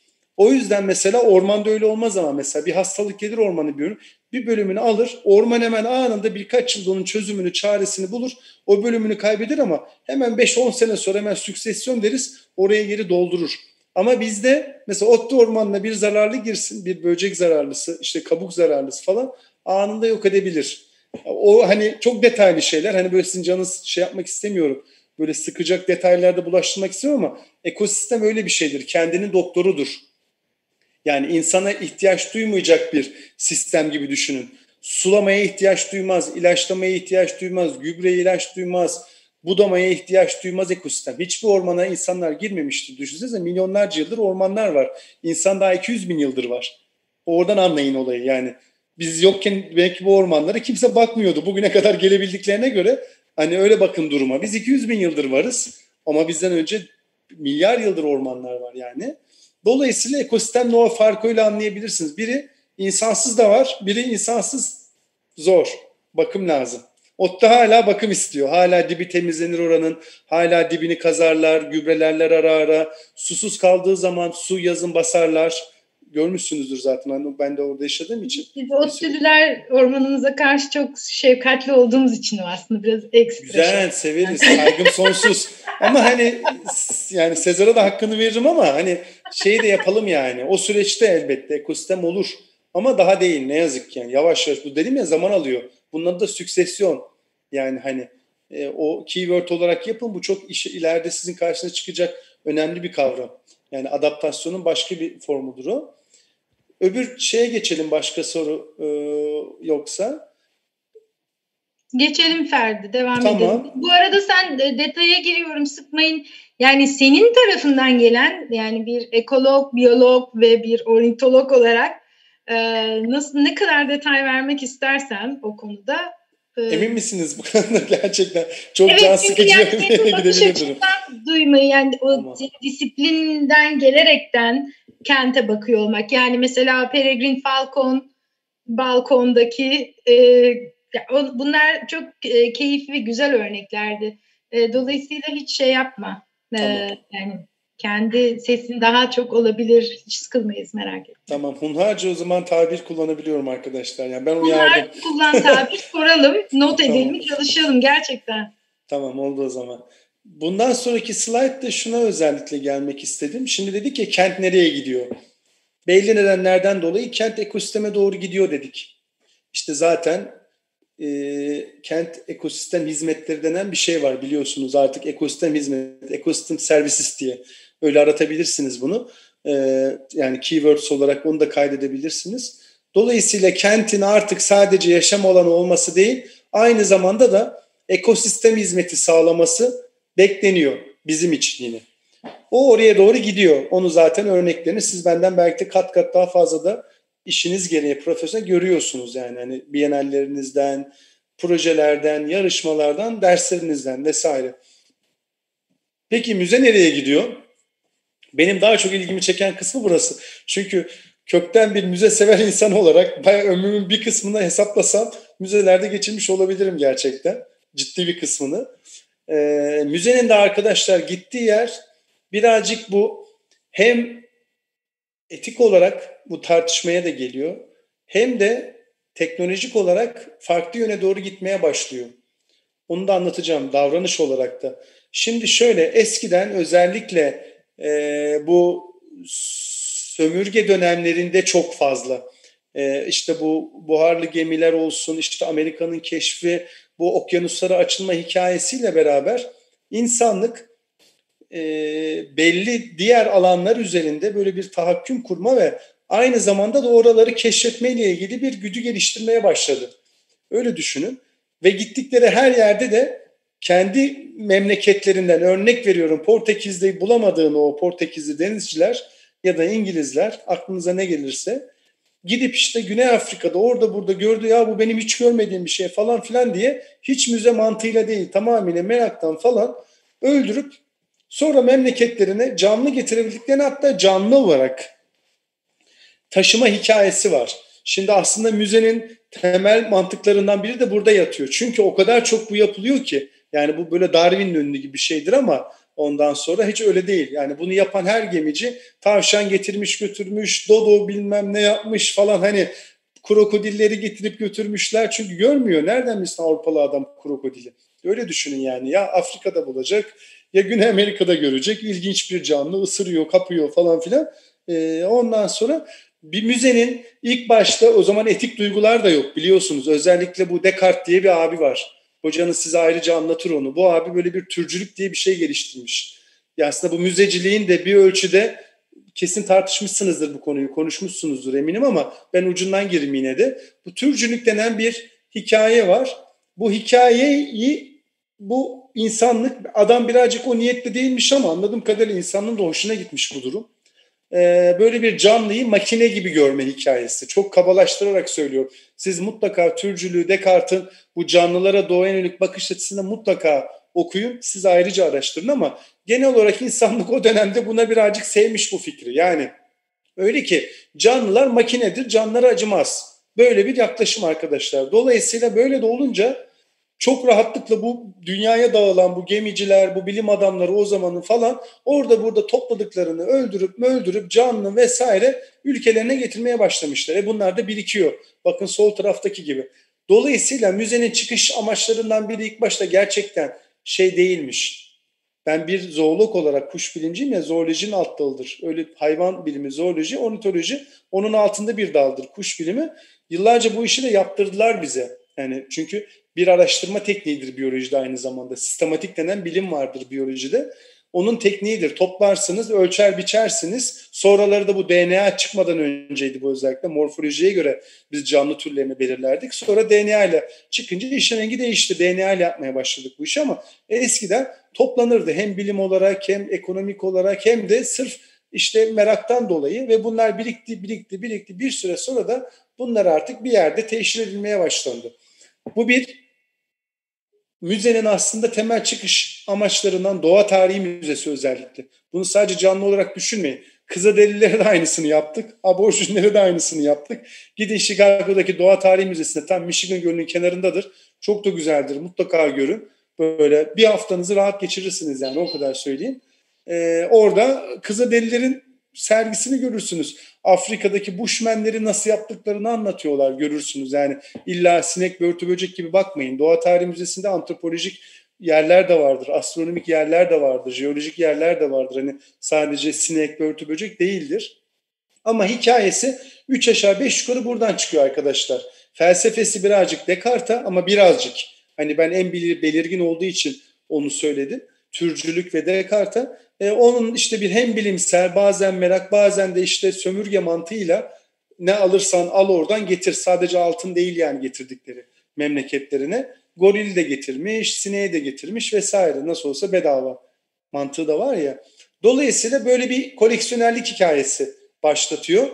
Ama şimdi geldiğimiz noktada bu deminki bahsettiğimiz bu etik hikayeler de bir nedeni ama diğer bir nedeni de teknoloji arkadaşlar. İşin içine artık deneyim giriyor. Biz artık çoğu müzede zaten e, birçok canlıyı uluslararası sözleşmelerle bir yerde öldürüp taşıyamazsınız artık. CITES diye bir araç convention var. Ne o? Sözleşme. Uluslararası bir sözleşme. Bu sözleşmeye göre herhangi bir ülkedeki bir canlıyı alıp siz öldürüp bir yere taşıyamazsınız. Özellikle de listesi vardır onun. Nesli tehlike altında endemik canlıları. Eskiden bu serbestti. Ülkemize gelirlerdi, biz giderdik, toplarlardı vesaire vesaire götürürlerdi. Dolayısıyla zaten teorik olarak bu çok mümkün değil. Yani bundan 100 sene 200 sene önce gidip tavşanları onları bunları toplayıp da İngiltere'ye götürmek, Türkiye'ye getirmek falan şu anda zaten yapamıyorsunuz bunu. Kanunlar, uluslararası kanunlar buna zaten izin çoğu zaman vermiyor. Bundan da mütevellit etik değerlerden de dolayı öldürmeyi doğru biz gerekli görmüyoruz. Gerek de görmüyoruz çünkü aynı canlının üç boyutlu fotoğrafını çekip ya da videosunu çekip çok rahatlıkla bakın sağdaki gibi deneyime dayalı hiç onun şu soldaki halini benim görmeme gerek kalmadan bana artık işte fragmentated reality denen olay, augmented reality denen olay, işte bu parçalanmış, değiştirilmiş her türlü gerçeklik tanımı var ya artık biliyorsunuz. Üç boyutlu uygulamalar falan. Bana artık müzeler bunu sağlıyor. Bakın o uygulamaları da dünyanın her yerinde görüyorsunuz artık. Artık müzecilik buna gitti zaten. Çok az müze işte Viyana tarihi o belli müzeler ve onlar da zaten ziyaretçilerini bir bir kaybediyorlar. Çoğu müze artık tutan müzeler bu tür interaktif uygulamaları olan müzeler haline geldi. Yani müzeler artık koleksiyonerlikten deneyime gidiyor. Nasıl kentler yaşam alanından ekosisteme gidiyor ya. Bizim müzelerimiz de deneyime doğru gidiyor. Yani biz orada kendimiz deneyimlemeyi istiyoruz artık. Sadece o e, iğne sokulmuş o böceği görmek istemiyoruz. Onu zaten ben her türlüsünü çok daha gerçek halini şu ölmüş olan 300 bin yıl önce ölmüş olan bir canlıyı gayet rahat bir şekilde canlandırıp ben zaten oraya koyabiliyorum. Videolarla vesaireyle çok rahatlıkla. Dolayısıyla ona gerek kalmadı. Dolayısıyla aslında koleksiyonerlik de yani müzelerde deneyim alanlarına doğru ilerliyor. Bu da bizim için bir avantaj. Niye olduğunu söyleyeceğim. Nasıl dedik ya ekosistem, kentler ekosisteme gidiyor. Ekosistem dediğin şey yaşayan bir şey. Hani ne dedik o Gökdoğan'ı? Ben aslında müzede ya da YouTube'da seyredebileceğim gibi evimin bahçesinden de birinin aslında o yönde bir algım olsa onu gerçek hayatta da avlanırken seyredebilirim evimin önünde. Aslında var. Ben mesela biz seyrediyoruz. Ben yerini yurdunu bildiğim için Gökdoğan'ı her gün gidip bulabilirim size kentin içinde. Nerede olduklarını biliyorum. Ama bu bir merak durumu. Öyle düşünün. Dolayısıyla aslında kentler müzelerin de bu yavaş yavaş deneyime doğru kaymasından dolayı aslında kentler müzelere, müzeler kentlere göz kırpmaya başladılar. Sadece etik açıdan da değil. Bakın tekrar söylüyorum. Zaten kendi kentin ekosistem olması demek bir orman olması demek. Düşünün içinde başka bir dünya benim size sayabileceğim şu anda endemik bitkisinden kuşuna börtüsüne kadar aslında zaten bir yaban hayat var kentin içinde. Bir nehir var. Nasıl işte Arizona Falls şey Arizona şelalelerini o Niagara'ları falan görüyorsunuz ya. Aslında teorik olarak baktığınız o bir sulak alan ekosistemi. Siz onun orada abartılmış versiyonu görüyorsunuz. Halbuki işte İstanbul içinde Ali Beyköy eskiden baraj yapılmadan önce bir sulak alan ekosistemiydi. Şu anda bir göl görüyorsunuz siz orada. Hatta şu anda kuru bir göl olmak üzere. Kuraklıktan dolayı. Öyle söyleyeyim. Dolayısıyla aslında kentinizin içinde de böyle yerler hala var, var olma ama biz onu öyle bilmiyoruz. Biz onu belgeselde çünkü görüp e, kıymetlendirdik hep. O işte bir nehir akar, nehirde işte bir e, güzel bir canlı oradan batıp çıkar falan filan. Halbuki o nehir dediğiniz şey belgeselde görünce güzel değil. Kentte de güzel. Sadece bize o dediğim o doğayı objeleştirme hikayesi dedim ya. Oradan dolayı bize sanki orada görünce o daha güzelmiş gibi geliyor. Mesela bir örnek vereyim size. Belki kaçınız biliyor ama hani şu Afrika'da leşlerin başında olan akbaba var ya kafasını sokar böyle hep böyle her leşte vardı çocukluğumuzda Serengeti'de. O Anadolu'nun en eski canlılarından biri Kızıl Akbaba bizde hep var. Hala var, hala yaşıyor. Ama biz onu hep Afrika'da biliriz mesela. Türkiye'de bilmeyiz. Türkiye'de görsek inanmayız hatta. Çünkü o bizim Afrika'da ya belgeselde görüp kıymet verdiğimiz bir şey ya. Biri dese bize inanmayız Türkiye'de olduğunu. Onun gibi düşünün. Ya da flamingoları. Bakın İzmir'in içinde geziyor flamingolar. Ama biz onu nereden biliyoruz? Palm Beach'ten biliyoruz Amerika'da. Yani o o ünlü o işte neydi o dizinin ismi? Çok bizim zamanımızın dizisi de siz onu yakalayamamışsınızdır da. Ondan sonra Flamingo'yu Amerika'da... yolu. Heh. Aynen öyle. Halbuki İzmir'in içinde gezen canlı. İstanbul'da da dönem dönem dolaşır yani. Bayağı bildiğiniz. Bir tek patenli kızlarımız, abilerimiz yok. Yani flamingomuz var Allah'a çok şükür aslında. Ama televizyondan görüyor olma hikayesi başka bir durum. Objeleştirme hikayesi. Dolayısıyla kentler sadece benim görüşüme göre değil bu bahsettiğim ekosisteme dönüşümü, müzenin de deneyim merkezine dönüşümü nedeniyle zaten yavaş yavaş arkadaşlar müzeye dönüşmeye başlıyor. Çünkü insanlar şu anda birazdan şeylerine de getireceğim. Zaten kentleri böyle görmeye başladıklarını ve böyle görmek istediklerini beyan eder hale geldiler. Yarışmalarla bunu yapar hale geldiler. Kentin içinde çeşitli deneyim arayışlarıyla bunu arar hale geldiler. Biliyorsunuz ekonomide vardır bu supply demand denen hikaye var. Yani arz talep. İnsanlar bunu talep etmeye başladıkça yöneticiler de sistem de bunu vermeye başlayacak ki zaten bakın bizim bu dersi yapıyor olmamızın bir nedeni bile aslında bu zincirin çalışmıyor olması. Bundan 10 sene önce niye biz bu dersi yapmıyorduk mesela? Ben yine buradaydım. Aslı hocanız da oradaydı yani. Hani değişen bir şey yoktu ama bakın bugün artık bunları konuşuyoruz vesaire. Dolayısıyla böyle bir yola girmeye başladık. Biraz daha onu şey yapacağız, olgunlaştıracağız. Peki nasıl olacak bu olay? Kolay mı bu olmak? Yani Ferda Akarsu gibi ya da bir Aslı hocanız gibi kente baktığı zaman gerçekten bir doğa tarihi müzesi görebilir miyiz? Ya da e, diyelim ki ben kamuda çalışan üst düzey bir şeyim, karar vericiyim ben onu yapabilir miyim? Kenti o hale getirebilir miyim? Bu mümkün mü? Tamam arzular şelale ama hadi öyle görelim istiyoruz, seviyoruz ama bu gerçekten olur mu? Bir de bunun bir olur mu kısmı var. Şimdi birazcık ona değinmek istedim ben. Bunun iki boyutu var. Biz bunu çok seviyoruz da öyle yazdım. Bakın kenti görünür hale getirebilmek o ve onlar. Bu işte burada kastettiğim şey şu. Bizim karar verici abilerimiz, ablalarımız, patronlarımız hani bizim dışımızdaki insanlar diyelim. Bakın diğerine bakış şeyine bakarsak da biz peki bunun bir de biz tarafı var.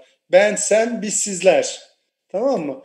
Şimdi kenti görün gö, şeye görünür hale getirebilmek yani kentte kentin bir doğa aslında müzesi olduğunu her kentin getirebilmek mümkün mü? Onu da şimdi onun nasıl olduğunu, mekanizmalarını birazcık anlatmaya çalışacağım size. Bence mümkün. Örnekleri de zaten var. Dünyanın her yerinde var artık hatta. Öncelikle bizim dışımızdaki abilerden beklediğimiz özelliklerin şu olması gerekiyor arkadaşlar. Çok açık söylüyorum. Bu abiler kimler? Belediye başkanlarınız, milletvekilleriniz, büyük patronlar, işte Birleşmiş Milletler'in bilmem nesi, derneklerin bilmem neleri yani sizin benim gibi vatandaşlar dışındaki karar vericiler öyle diyelim. Bunların birincisi arkadaşlar gerçekten meraklı olmaları gerekiyor. İkincisi bakın bu çok önemli. Özellikle İngilizcesini yazdım ki siz mutlaka o şekilde araştırmalarınızı yapın diye. Eleştirel, critical thinking, eleştirel düşünme kabiliyetine sahip olmaları gerekiyor. Bunların hepsine bizim de gerekiyor. Ama bu abi ve ablaların, büyük abi ve ablaların diyelim özellikle gerekiyor. Çünkü merak etmedikleri, merakları sonunda bazı fikirler ortaya gelip de bunları eleştirel düşünemedikleri, bunun sonucunda bir vizyon geliştiremedikleri ve vizyonu da nasıl bir tasarım odaklı düşünmeyle ki bunun adı da dünyada çok modadır. Mutlaka bunun üzerine de okumalar yapın. Belki de dersleriniz var. Varsa da özür dilerim bilmiyorsun çünkü de bilmiyorum şeyiniz. Design thinking denen bir olay var. Çok artık dünyanın gündeminde olan bir konsept bu bu vizyonu da tasarım odaklı düşünerek hayatta geçiremiyorlarsa arkadaşlar biz ne kadar çok konuşursak konuşalım bunları kentler ne yazık ki ancak ranta, oya, popülist bazı istek ve söylemlere cevap verir. Yaşam alanları olarak sürüyor. Ama yine de küçük küçük de olsa bu bizim dediğimiz ekosistem haline gelmeye devam ediyor. Ama çok yavaş oluyor. Ama bizler bu bahsettiğimiz insanlarda şu dört tane bunu siz daha farklı çeşitlendirebilirsiniz yani tamamıyla dünya görüşünüze göre ya da kendi e, zihin yapınıza göre ama şu dört tane e, durum olmadığı zaman çok açık söyleyeyim hiç şapkada tavşan falan aramayın. Olmuyor. Yani benim yaklaşık 30 yıllık tecrübeme göre hocanızın zira öyle yıllardır dünyanın her yerinde bakın çalışmış. Şunlar olmadığı zaman siz isterseniz ağzınızda kuş tutun, isterseniz bütün dersleri kent müze olsun, kent ekosistem olsun deyin. Olmuyor. Dolayısıyla bu birazcık niye bu koyduğumu da anlatacağım slaytı. Sizsiniz. Yani bakın bahsettiğim şey merak öyle dünden bugüne gelişebilecek bir şey değildir. Çok Freudünel bir bakış açısıyla 2-6 yaş arasında çoğu zaman çocuklarda olur biter bu durum. Ondan sonra yandı gülüm keten elva. Genelde de olmaz. Kolay değildir yani. Dolayısıyla sizler belki kiminiz akademisyen olacak, kiminizin çoluğu çocuğu olacak, kiminiz başka özel üniversitelerde, liselerde orada burada yapacaksınız. Bunu geliştirmek önemli bir durum. Yani bu bir jenerasyon işi. Onun için söylüyorum yani hani bu slaytı koymamın nedeni o. Ben buraya anlattığım zaman herkes meraklı yazdığım zaman olmuyor. Keşke olsaydı ama olmuyor işte yani. Yine siz oluyorsunuz. Bakın dersi dinliyorsunuz merakınızdan dolayı. Hocanız meraklı ki belli ki beni davet etmiş. Yoksa kuşçunun işte mimarların arasında ne işi var mesela değil mi? Yani bu hep mesela işte bu işaret öyle düşünün yani. Şehir plancılar arasında bunların olması gerekiyor. O abilerde ablalarda. Bu benim sevdiğim bir tabir değil. Sırf sizin için yazdım. Çünkü bu işin kolayı. Hep böyle başkalarında suçu bulma, arama, sorumluluğu itme falan. O yüzden de o ve onlar yazdım. Bilginiz olsun. Birazcık sarkastik bir durum var orada. Bilin onu istiyorum. Biz peki gelelim kendimize. Hadi abilerde, ablalarda bunlar olsun istiyoruz, talep ediyoruz. Biz bu kenti nasıl müze haline getirebiliriz ve nasıl onun bir müze olduğunu görebiliriz. Bence zaten müze. Bakın şu fotoğrafları şimdi anlayacaksınız. Sizin müzede görebileceğiniz her şeyi ben size birazcık da işimden dolayı İstanbul'da, İzmir'de bir yerlerde özellikle yaşadığım kentlerde bayağı müze gezdirir gibi haftalarca gezdiririm. Bayağı yaparım yani müzede sevdiğim için müzeleri, müzenin mantığını da birazcık bildiğim için hani hobi de biraz bizim için müze öyle düşünün. Mesela kenti görebilmek, İki tane başlık yazdım. Bunun altında onlarca başlık koyabilirsiniz siz. Ben uzatmak istemedim yani. Doğal ve kültürel değerler. Zaten birçoğu bundan altına giriyor. Yani mesela mimari aslında bir ölçüde sosyolojik ve kültürel olan bir durum. İnsana dair bir yapıdır. Öyle diyeyim yani. Sosyokültürel bir durumun zuhur etmesidir. Onun altına mimari de girebilir. Doğal değerler. Bakın mesela sol taraf İstanbul. Siz birçok belgeselde orada burada kuşlarla ilgili, canlılarla ilgili bir şeyler görüp ediyoruz. Şurada geçmeyenimiz yoktur. Şurası Kadıköy İskele. Düşünün. Karşısı Galata. Fotoğrafı da o yüzden seçtim internette. Bakın şu e, Şamandıra'nın etrafındaki canlılar arkadaşlar. Bunlar tepeli karabatak. Bunları herkes normal karabatak olarak bilir. Halbuki Akdeniz'e endemik sadece denizlerde olan bir kuş türüdür. Ve biliyor musunuz burada yürüyor hayvanlar. Yuvaları da burada çıkarıyorlar. İşin ilginç tarafı da ne biliyor musunuz? Mesela alın size belgesel. Kuşlar ne zaman ürer? Değil mi? İlkbaharda. Klasik hepimiz biliriz işte cıvıldarlar. Bu kuşlar aralıkta üremeye başlıyorlar. Kışın ortasında burada yavru görüyorsunuz. Onun nedeni ne biliyor musunuz? Niye bütün kuşlar Mersin'e gidiyor da bu kuşlar tersine gidiyor? Yani İlkbaharda sıcak sıcak her taraf yeşermişken üremiyorlar da kışın göbeğinde İstanbul'daki eskiden karmar değerdi. İstanbul'da şimdi artık doğru yağmıyor ama o karın üstünde ben bayağı yuvaların üzerinde kar gördüğüm zaman bilirim yavrular varken öyle söyleyeyim. Nedeni ne biliyor musunuz? Kuş ne yer? Karabatak balık yer. Balık ne zaman en çok göç var? Boğaz'da. Kışın başında arkadaşlar çok basit. Hayvanlar balık yediği için yavrularını en çok balık olduğu zamanlarda yap, yapıyorlar. O yüzden de o soğuklara rağmen yavrularını çıkarıyorlar. Bakın alın size hiç kimsenin yapmadığı hala bir belgesel. Biz aynı zamanda belgesellere danışmanlık yapıyoruz. Yarın bugün birisi bu dediğim hikaye belgesel yapsın. Gerçekten dünya paraya satarsınız. Hani kastettim anladınız değil mi? Bakın size müze. Herhangi bir müzenin ornitoloji bölümüne gidin. Bu anlattığım şey size küçük kutucuklarda ya da cep telefonunuzun QR koduyla falan yazıyor olacak. Çünkü yazanlardan biri de benim. Yaptığım işlerden biri de o.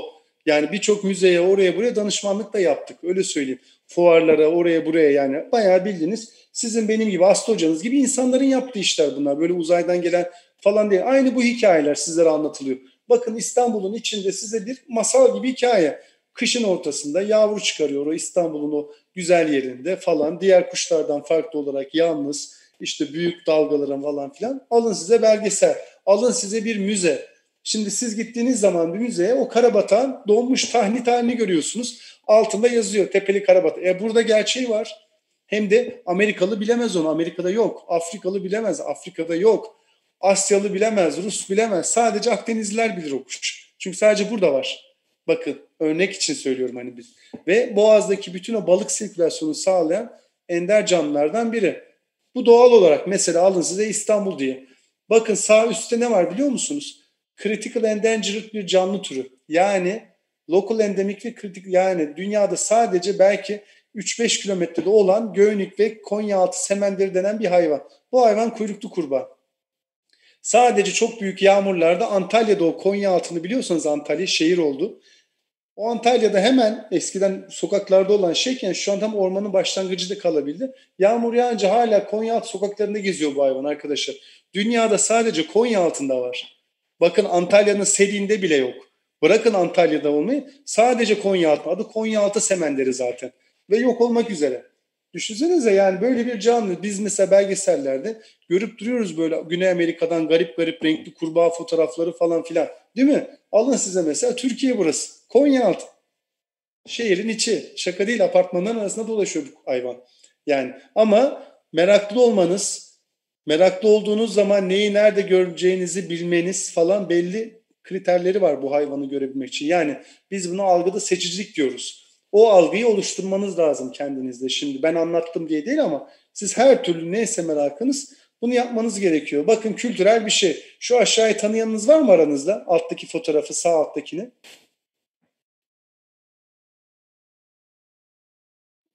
Galata Çıkarabildiniz mi? Galata'nın sokağı olabilir mi? Değil ama benziyor hakikaten. Şimdi sen söyleyince ben de hakikaten benzettim oraya. Ama değil değil. Mardin arkadaşlar hiç şey yapmayalım. Ben size hemen söyleyeyim. Şimdi bunu niye koydu biliyor musunuz? Burası eski Mardin. Mardin'in dağı bayırı falanı filanı güzeldir ama bence Türkiye'nin en güzel şehridir. İstanbul'a aşık olmama rağmen bunu hep her yerde de söylerim. Çünkü şu gördüğünüz sokakta ilginç bir hikaye var biliyor musunuz? Çok nadirdir Orta Doğu gibi bir yerde böyle dinlerin, dillerin falan yan yana yaşaması. Toplasanız bir kilometre şu cadde. Eski Mardin'i bilirsiniz. Orası ana caddesi. PTT'ye giden yer. Sol tarafta otopark zaten. Zaten bir cadde var. iki tane yok yani. O yüzden giden herkes orayı bilir. O gördüğünüz caddede şu anda arkadaşlar Süryanice, Kürtçe, Arapça, Türkçe ve yakın zamana kadar Keldanice yani o gördüğünüz bir kilometrede beş ayrı birbirinden farklı dil konuşuluyordu. Şu anda dörde düştü o. Keldaniler ne yazık ki yok oldular, kayboldular öyle söyleyeyim. Bakın bir kilometre yerde dört tane farklı dil. Bambaşka ayrı diller bunlar. Aynı zamanda burada bakın ne saydım. Müslümanlar, Ezidiler ve Süryaniler. Üç ayrı din vardı şurada. Düşünün. Ezidiler hala var. Süryaniler daha fazlalar. Müslümanları zaten biliyorsunuz varlar. Alt, alt fragman şeylerini söylemiyorum. Bakın bir, bir kilometrelik caddede. İşte biz buna hani doğal değerler olarak semender dedik falan filan dedik ya. Bunlar da kültürel değerler. Yani kültürü sadece bu onu koymamın nedeni şuydu. İşte bir alın kalıntı ondan sonra ya da ne bileyim hani böyle bir falan gibi bir şey düşünmeyin bir indigenous grup, yerli grup falan gibi. Kültür sadece öyle şeyler değil. Kültür böyle de bir şey.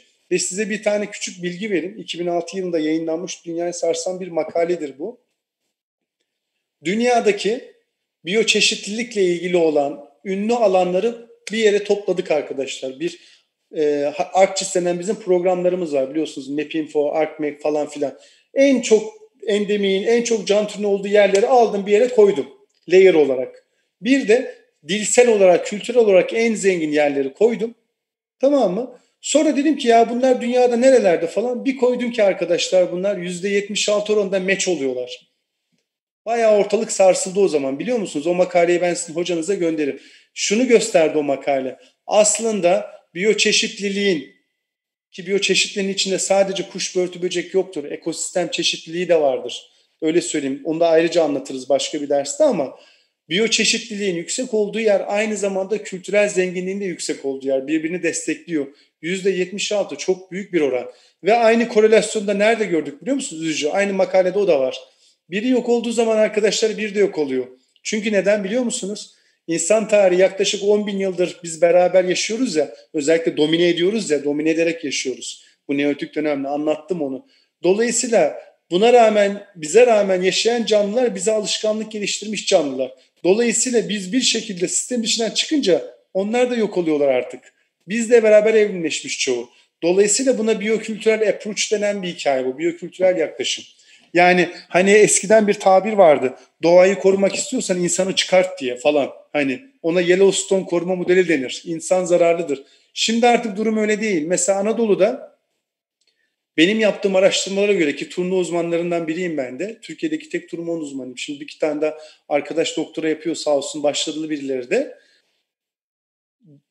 Hayvanı yok eden şey ne biliyor musunuz İlginç bir şekilde? Anadolu'da Alevi kültürünün yok olması. Alevilerin köyden kente hızlıca göç etmesi. Hayvan bu yüzden yok oluyor. Ben bunu yayınladığımda kıyamet koptu Amerika'da orada burada. 50 tane yerde sunum yaptırdılar bana.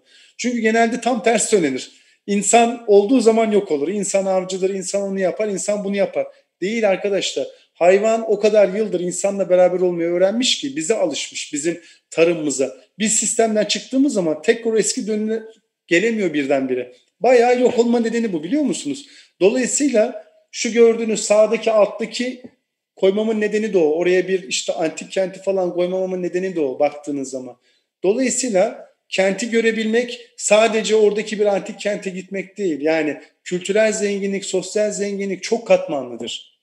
Hani bu böyle siyasi bir söylem olarak söylemiyorum. Yaşasın hakların kardeşliği falan filan gibi. Ha, onu da söylerim ayrı hikaye. Severiz sayarız ama hani bu gerçekten sadece sosyal ya da siyasal bir duruş değil. Aynı zamanda anlattım biyolojik doğal da bir süreç. Biz o dilleri koruyamazsak Mardin'de o yaşayan insanların birliklerini sürdüremezsek aynı yukarıdaki canlıya benzer bir gekko vardır. Adı da Mardinkeleri. Bakın bunu da yazın Google'a. Adı Mardinkeleri. Bayağı Mardin ve çevresine vardır. O da yok oluyor. Şaka değil. Diyeceksiniz ki Süryaniler gittiği zaman Mardinkeler yok olur mu hocam? Ne alakası var? Araştırın bakın. Vaktimiz varsa ölmezsek de araştırma yapalım. Turnayı nasıl kanıtladıysam onu da kanıtlarım mesela yok olacağını. Gayet böyle ne yazık ki böyle üzgünüm ama bunlar hep böyle siyasi platformda konuşulur edilir ama ya da değildir aslında bilimsel açıdan. O yüzden sizler çok kıymetlisiniz.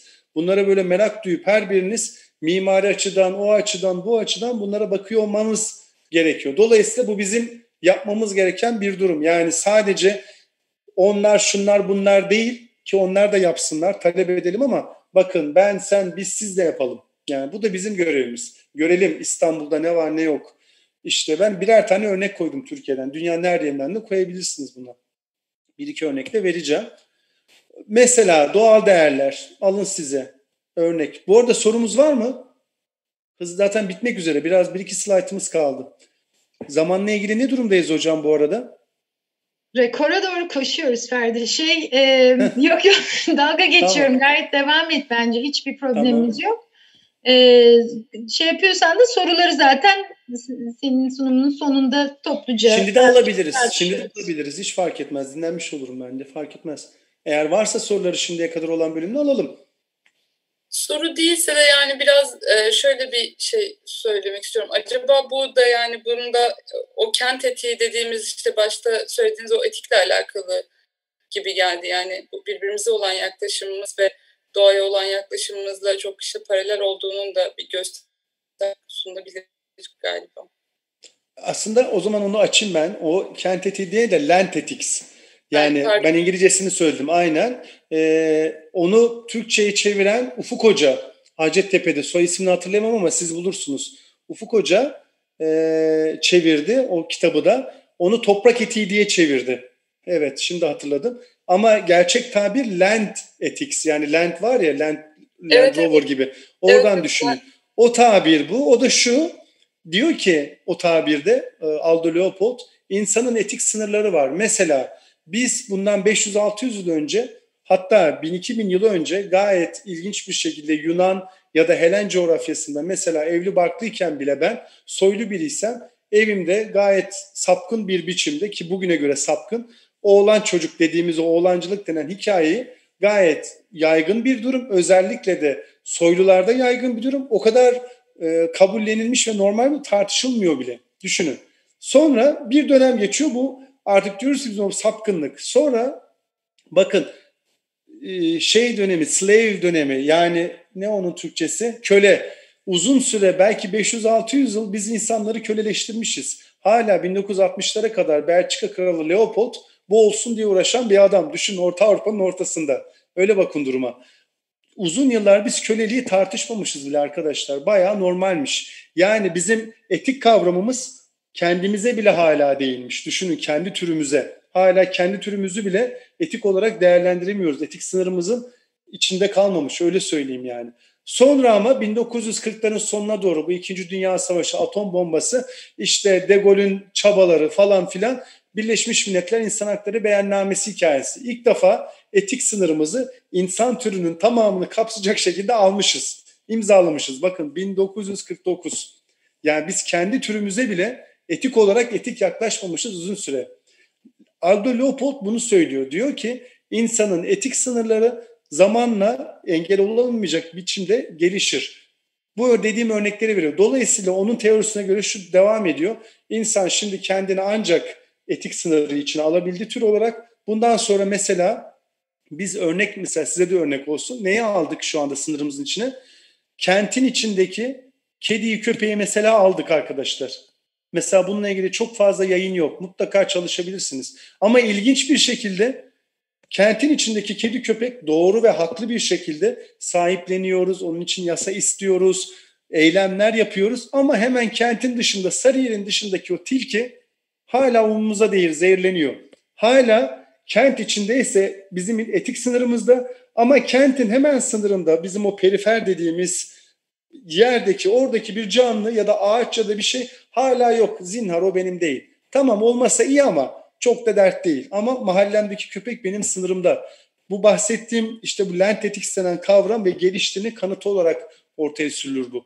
O bahsettiğim o hikaye burada. Eninde sonunda insan o ormanı da Sarıyer'deki o tilkiyi de alacak o diğer varlıkları da sınır ama bunun zamanlaması tabii önemli. Bizim gibi insanlar hani sizler de öyle bu bir an önce olsun istiyoruz ama ne yazık ki öyle olmuyor. Yani hani ben en azından 20 yıldır bunu okurum, ederim, anlatırım bir yerlerde. 20 yıldır ne kadar daha bir hayvan hakları ile ilgili doğru düzgün yasa çıkaramadık. Yani bırakın etiğini, ketiğini Birleşmiş Milletler en son 2000 yılında Bolivya getirdi. Varlık hakları ile ilgili bir sözleşme tasarısı geçmedi. Öyle düşünün. Peyderpey bazı, bazı ülkeler kabul etti kendi anayasalarında varlık haklarını, doğa haklarını falan ama genel bir kabul ediş hala yok. O yüzden lentetik kavramı öyle bir kavram. Aldo Leopold'un ortaya attığı ve başka birçok bilim adamının da desteklediği, bazılarını desteklemediği bir kavram. Ben bireysel olarak kendi çalışmalarımda bunun kanıtlarını gördüm. O yüzden hep anlatırım sunumlarda öğrencilere. Yani kendim de doğrulayabiliyorum hayatımda ve kendi makalelerimde, çalışmalarımda diye veriyorum. Ama keywords'ü verdim, Lentetics, yazarın da ismini verdim. Mutlaka araştırın. Siz okuyun, kendi süzgeçinizden geçirin. Ona göre karar verin. Bunların hepsi çünkü şeyler, yaklaşımlar. Öyle düşünün. Belki siz bambaşka bir yaklaşım getireceksiniz. Yani hani e, öyle bakın duruma. Yani Ferdi söyledi, hocanız söyledi diye yüzde yüz zinhar bu dur diye bakmayın hiçbir şeye hiçbir zaman. Anlaştık mı? Ben e, sürdürülebilirlik konusunda bir şey Buyurun. Ee, yani oraya gelecek miyiz daha bilmiyorum. Ee, yo yo sorun geliriz her her herhangi bir zamanda gelebileceğimiz bir konu. Yani zaten benim 10 tane slaytım var. Onu da zaten derli toplu gitsin diye. Genelde hani öyle çok slayta da şey yapmıyorum. Siz o yüzden rahat olun sorun direkt. Ee, yani artık arkadaşlar e, duymaktan sıkıldı da e, ben e, Roma'da e, turizm rehberliği yapıyorum e, ve e, benim çalıştığım yer sürdürülebilir turizm e, üzerine ilerliyor. E, bu sene tabii her şey durdu, sıfırdayız. E, ama işte turizm e, dünyadaki işlerin yüzde onunu etkiliyor e, ve hani sürdürülebilir turizm üzerine çalışmalar, yani tabii çok büyük e, şey etkisi var. Çevre üzerine çok zararlı bir alan turizm. E, bunun üzerine e, bunu sürdürülebilir bir hale getirmek hani bu zararlı etkiyi e, azaltacak diye e, bunun üzerine İtalya'da çok fazla çalışmalar var ve bunu da e, ancak işte e, parça parça e, kendi başına yapan e, kişiler, e, firmalar, gruplar birleşip e, işte dernekler, vakıflar kurarak yapmaya başladılar. E, biz hani müze tasarlıyoruz, düşünüyoruz. Müzeyi işte siz söylediğiniz sürekli müzelere gidiyorum, geziyorum diye. Yani müzeyi gezenler hep turistler. Evet. E, bu, bu açıdan bakabilir miyiz? Bakarız. Ee, şöyle bakmak lazım. Şimdi sürdürülebilir turizm zaten bayağı moda olan bir kavram arkadaşlar. Ben de uzun süre Birleşmiş Milletler'de onun uzmanlığını hala da yapıyorum. Hala elimde olan projeler var öyle düşünün. Ee, bunun Türkiye'de bile artık dernekleri falan var. Sürdürülebilir Turizm Derneği falan var bayağı. Araştırınca görürsünüz. Hatta yakında paneli var. Ben de konuşması olacağım. Hocanızla paylaşırım. Mutlaka ilgiliyseniz Türkiye'de de olan olaylar nedir falan orada anlatıyor olacağız birazcık. Şimdi kent içinde müzeler aynı zamanda bir turistik aktivite yeri. Hatta e, bu bahsettiğim ilk açıldıkları zamandan sonra yani turizmin para getirmeye başladığı zamandan sonra o ilk aktivitelerinin çoğu fonksiyonlarını kaybetmişler. Çoğu zaman sadece turizm odaklı olmuşlar birçoğu. Para getiren yerler gibi olmuşlar. Halbuki ilk başta dediğim gibi öyle yerler değil. Bazıları hala hala bilimin yapıldığı, içinde hala enstitülerin olduğu, hala araştırmalar yapılan yerlerdir müzeler. Ama bazıları sadece para getiren yerlerdir. Bu da kötü bir şey diye söylemiyorum. Ama bunun da sürdürülebilir olması önemli ve sürdürülebilirlik sadece o kullandığınız materyalin turizm açısından ya da müze açısından değil, o fikrin de sürdürülebilir olması gerekiyor. Yani Louvre Müzesi'ne daha kaç bin yıl insanları götürebilirsiniz. Çünkü artık Louvre'da sergilenen hikayelerin çoğunu ben zaten parçalanmış ya da arttırılmış gerçeklikle evimde falan görebiliyorum. Anlatabiliyor muyum? Yani sadece bunu doğal kaynağın sürdürülebilir olması gibi düşünmeyin. O yüzden design thinking dedim ya, o kavram önemi orada çıkıyor devreye. Yani turizmin, müzenin sürdürülebilir olması aynı zamanda onun tasarlanmasından da geçiyor. Yani sürdürülebilirlik sadece doğal kaynak yönetimi değil günümüzde. Bayağı bildiğiniz sizin benim düşüncelerimizin de sürdürülebilir bir design thinking gibi yani devamlı adapte olabilir hale gelmesi gerekiyor. Ancak böyle adapte olur ve 10 sene sonra bizim kurduğumuz ya da belki kuracağımız müze ya da kent müzesi ya da falan hala yeni nesle hitap edebilir olsun. Öbür türlü kaybederiz. Yani onu çok açık söyleyeyim. O yüzden Viyana Doğa Tarihi Müzesi kaybediyor. Üzgünüm. Çok sevmeme rağmen o müzeyi binasını da çok severim. Ama çocuklar çok ilgilenmiyorlar eskisi gibi. Çünkü çok fazla onlara hitap edecek bir şey yok. O biraz bizim jenerasyonumuzda kaldı. En büyük dertleri çok açık söyleyeyim onların da. Biz yeni jenerasyonlara nasıl müzeciliği aşılarız? Nasıl çocuklara? İşte onlar da ne yapıyorlar? Çocuk gelmiyorsa biz müze yere götürelim diyorlar. Fark ettiyseniz zaten hep uygulamalar vesaire vesaire bundan kaynaklanıyor. Yani gitmiyor insanlar çocuklar, yeni nesiller çok fazla. Dolayısıyla aslında birazcık sürdürülebilirliği, doğal kaynak azlığı, çokluğu değil, düşünce olarak da bakalım. Ee, ve bence istiyorsanız sunum sonunda birazcık daha vaktimiz kalırsa falan kent içindeki müzeciliğin turizme olan katkısını da konuşalım. Çünkü İzmir içinde öyle bir de şu anda süreç işliyor. Onun da yani içinde olan bir insan olarak söyleyeyim. Bir işte tabiat tarihi müzesi olayı hikayesi var böyle bir falan filan. Aynı o sizin rakamlarınızı falan orada da biz hep konuşuyoruz mecbur. Bu kadar para harcayacağız, ne kadar zamanda gelecek, acaba enerjisini güneşten mi yapsın, işte suyunu şebekeye mi versin? Çünkü sürdürülebilir olsun istiyoruz bina bir yandan hani çağımız onu istiyor falan filan. Hepsi şu anda ülkemizde böyle bir şey konuşulan edilen şeyler. Tam güzel zamana denk geldiniz o anlamda. Hani ülkenin böyle tam her şeyi konuştuğu küçük küçük dünyadan böyle nüansların geldiği zaman o anlamda onu da ayrıca bence konuşalım. Sürdürülebilir turizm müze ilişkisini. Şu fotoğrafları ben özellikle koydum. Şundan birazcık açmak için bu durumu. Zaten son iki slide muhtemelen. İşte bu kenti görebilmek dedik ya doğal değerler. Bakın arkadaşlar sol tarafın neresi olduğunu biliyor musunuz? Hiç baktınız mı? Gideniniz çoktur da. Bir bakın bakalım. Bir tahmin yürütecek olan bir şey var mı birisi? O zaten bir doğal fenomen o yapı. Bakın orası Venedik. bayağı bildiğiniz Venedik işte İtalya'daki yani o gondollar vesaire. Venedik'in olayı ne biliyor musunuz arkadaşlar? Hani dedim ya İtalyanların ilginç tarafını söyleyeyim size. Gerçekten İtalyanların birçoğu bile böyle bir fotoğrafta Venedik'i görme, tanımayabilirler. Çünkü biz mesela Türkiye'liler olarak İzmir açın ben size tanımazsınız bazı yerlerini. Böyle miydi burası dersiniz falan. İtalyanlarda da öyle. Çünkü o gözle bakmıyoruz. Öyle yetiştirilmiyoruz. Zaten dersin amaçlarından biri o. Dedik ya görebilmek. Hani kenti görebilmek. Bakın burası Venedik. Şu gördüğünüzde bir lagün arkadaşlar. Dünyanın her yerinde lagünler vardır. Doğal yapılardır. Bu böyle birazcık kulak yapısıdır. Dudak da derler. O da ne biliyor musunuz? Bir tane tatlı su sistemi bakın görünüyor orada. Karadan gelir denizi bütün alevyonu topladığı erozyonla doldurmaya başlar. Bir yandan da deniz dalgası var sonuçta. Bunlar mücadeleye girerler. O mücadele sonunda böyle kılçık gibi bakın incecik bir şerit oluşur. İşte bunun adı lagün arkadaşlar. O lagünün sol tarafında kalan yerler tatlı tuzlu su karışıktır böyle ama tuzlu su fazladır. Bakın tatlı su kısımları da var. Yeşil mor gibi görünen. Bu tarafta deniz olarak kalır. Doğa harikası yerlerdir. Bunların avantajı ne olmuş yıllarca? Böyle yerler arkadaşlar özellikle korsanlar döneminde büyük kentlerin oluşmaya başladığı zamanlardır. Korsanlara karşı kentleri korumuşlar. Açık denize karşı. O yüzden Venedik gibi yerler aslında doğal değeri nedeniyle Venedik olmuş. O zamanlar gondolla gezin falan o zamanlar o zaman büyük bir dert. Sivrisinek dert insanlar çok sevdiğinden değil.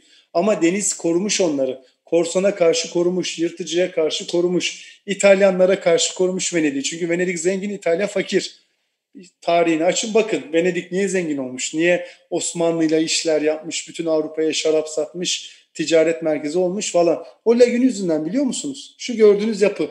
Peki bu lagün hocam Türkiye'de yok mu? Sayayım size. Onlarca var. Kızılırmak Deltası'nda var, İzmir'de var. Gidin Adana'ya Akyatan Lagünü var, Yumurtalık Lagünü var. Bulursunuz yani. İstemediğiniz kadar. Hikayeyi anlayabiliyor musunuz? Yani bunu biz David Attenborough belgesi olsa, belgeseli ki çekmişlerdir ki eminim ben görmedim ama belki de siz gördünüz. Venedik böyle anlatacak bir diyeceğiz ki falan. Halbuki Venedikler bunu böyle görmüyor. Mesela sağ üst örnek vereceğim. Burası sizce neresi? Şu leyleklerin olduğu yer bakın. Tahmin ediniz. Bu adamın evinin üstünden geçiyor bunlar. Afrika'dan Avrupa'ya, Anadolu'ya aynı şekilde de kışın tam tersi göç eden hayvanlar bunlar. İstanbul arkadaşlar orası. 100 bine yakın leylek her sene ve bunun içinde 9 farklı da kartal türü aynı zamanda sadece leylek değil İstanbul Boğazı'ndan göç ediyor. İlkbaharda yukarı doğru gidiyorlar, kuzeye doğru. Sonbaharda kışlamak için Afrika'ya doğru gidiyorlar. Hepsi İstanbul'dan geçiyor. Bakın belgeselin dibinde yaşıyoruz İstanbul'da.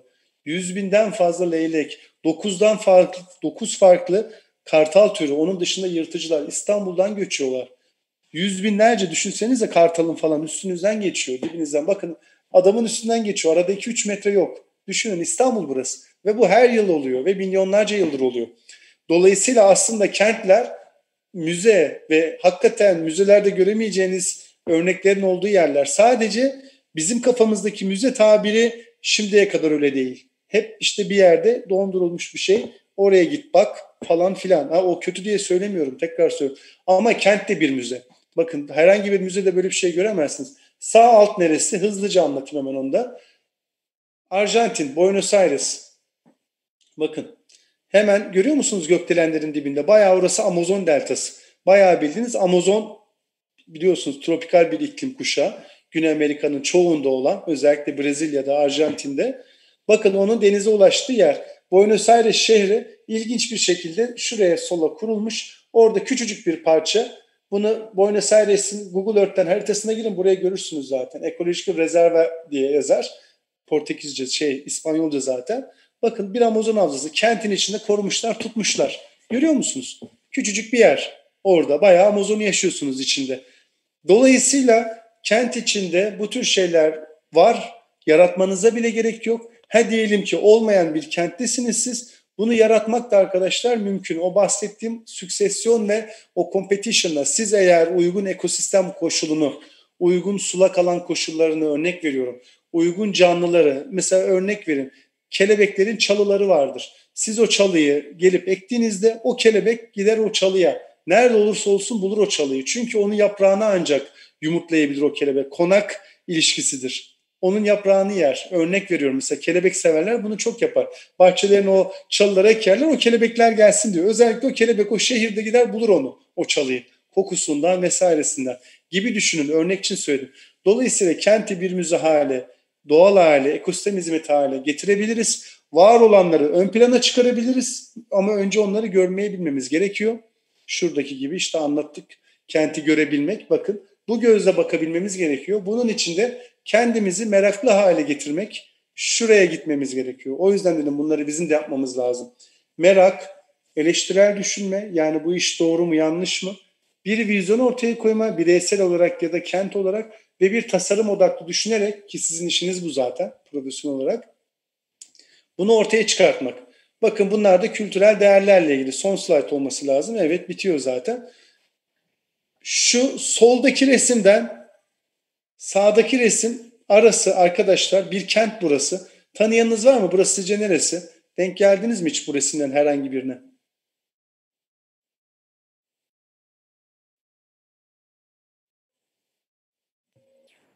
Bu e, şeyler sütunlar olan e, Sicilya'da Temple Vadisi olabilir mi? Değil. Burası İzmir. Bakın orası da pasaport iskelesi. Şu gördüğünüz soldaki fotoğraf Yeşilova Höyüğü. Milattan önce yaklaşık 4500-5000 yıl. Bakın hemen arkası yol ve şey sanayi. İzmir burası, Bornova'da. Yani belki arkadaşınızın yanına geldiniz, belki e, şey yaptınız dolaşmaya. Hemen şurası Simirna denilen yer. Bayraklı'nın üstü. Bakın. Orası da Simirna. İzmir'in tarihi ismi biliyorsunuz Simirna zaten. Eski ismi. Ondan sonra hani eski çağlardaki ismi. İzmir ismi de oradan geliyor. Simirna antik kenti. Bakın şurası da sağ alt pasaport. 1800'ler 60'larda yapılmış bir Osmanlı o zamanın pasaport kontrolü yapılan yeri. Yani sol taraf Yeşilova Öyü. Buradan çıkıyorsunuz. İnsanlar yaklaşık 8 bin yıl önce burada İzmir'de ilk defa yaşamışlar. Bornova burası. Şaka değil. Baya bakın yolu sanayi görüyorsunuz hemen yolun üzerinde. Sonra bir şeyler olmuş. Detayına hiç girmeyeceğim. İstiyorsanız araştırırsınız. Oradan sonra çıkmışlar arkadaşlar. Yassova Öyü'ne gelmişler. Yaklaşık 500 yıl mesafe geçmiş aradan ve 300-400 metrede biliyor musunuz? 300-400 metre şu soldaki fotoğraftan yürüyorsunuz. 500 yıl geçebiliyorsunuz. Sonra oradan yaklaşık 1 kilometre yürüyüp ve yaklaşık 2000 yıl geçip şu Simirna'ya geliyorsunuz. Ve sonra oradan da yaklaşık binlerce yıl geçip pasaporta. Yani soldaki resimden sağ alttaki resime toplasanız yürüme mesafesi 1,5 kilometre ama geçtiğiniz yıl arkadaşlar 8 bin yıl. Burası İzmir'in içi. Bakın dağında bayırındaki bir Efes antik kentinden falan bahsetmiyorum. Tamamı şehrin içinde buranın. Zaten evleri köyleri görüyorsunuz. Sadece bir buçuk kilometrede tarihte 8 bin yıl alıyorsunuz. Hani dedik ya müze nedir? Hani gidiyoruz müzelerde vesaire. Alın size müze. Bakın bunların her biri öyle baktığınız zaman müzelik eserler. Sadece tek başına müzelik değiller yani. Anlatabiliyor muyum? Bu hikayenin kendisi bile bir kent içinde bir kilometre yürüme mesafesinde 8 bin yılı dünyada çok az yerde geçebilirsiniz arkadaşlar. Şaka değil. İnsanlık 8 bin yılda soldaki fotoğraftan sağdaki fotoğrafa gelmiş. Ama biz şu anda bir kilometrede oraya gidiyoruz. Dolayısıyla hani dedik ki kent müze midir, müze olur mu, olmaz mı? Alın size müze. Hangi müzede böyle bir şey görebiliyorsunuz? Düşünsenize bunun aynısını siz İstanbul'da, Venedikler Venedik'te, New York'lar bir yerlerde yani var. Bunu fotoğrafı göstermem nedeni İzmir güzellemesi yapmak değil. Sadece kente işte bu tasarım gözüyle o sizin gözünüzle bakıldığı zaman böyle şey tasarıma ilham verir hale getirebiliyoruz. Öyle söyleyeyim. Dolayısıyla zaten ekosistem olmaya doğru ilerliyor ve aynı zamanda da gördüğünüz gibi zaten değerler taşıyor. Biz yeter ki kenti öyle görebilelim, kenti öyle tasarlayabilelim ve bunları o şekilde ortaya çıkaralım. Öyle söyleyeyim. Doğru yazmış mıyım? Yazmışım. Teşekkürler diye. Aslında birazcık böyle şey geçtik. Ee, soru varsa e, şey yapabiliriz e, alabiliriz. E, ya da ne bileyim katkı falan filan. Şimdi ben şeyi söyleyeyim. E, Nihan'cığım bir saniye şeyi e, Galiba e, tekrardan detaylı olarak sordum ama henüz hı hı. bakıyorum bir daha son kez var mı? Uh, biodiversity ve kültür çeşitliliğinin korelasyonuyla ilgili evet. olan bir makalenin e, şeyini soruyoruz. E, YouTube'dan gelen yorumlardan başlığını. Baş, ben göndereyim mi size? Aslan'a göndereyim makale istiyorsanız siz de paylaşsın olur mu? Bulmam lazım çünkü de o yüzden. Ama yani bu şudur arkadaşlar. Ben o makaleyi hocanıza yollayayım ama kavramın adı bioculture. Bununla ilgili dünyadaki otor insan da Louisa Maffei. Louisa Maffei diye yazılır. Mutlaka bakın araştırın. Zaten linguistic diversity ve biodiversity'nin connection'ını, bağlantısını ortaya koyan temel bilim adamlarından biri Louisa Maffei. Kurumunun ismi de Terra Lingua. Zaten bir foundation orası Amerika'da. Ee, benim turna kitabımda da sağ olsun haritaları yapan ve bana veren, izin de veren kendisidir, Louisa'dır. Mutlaka bakın.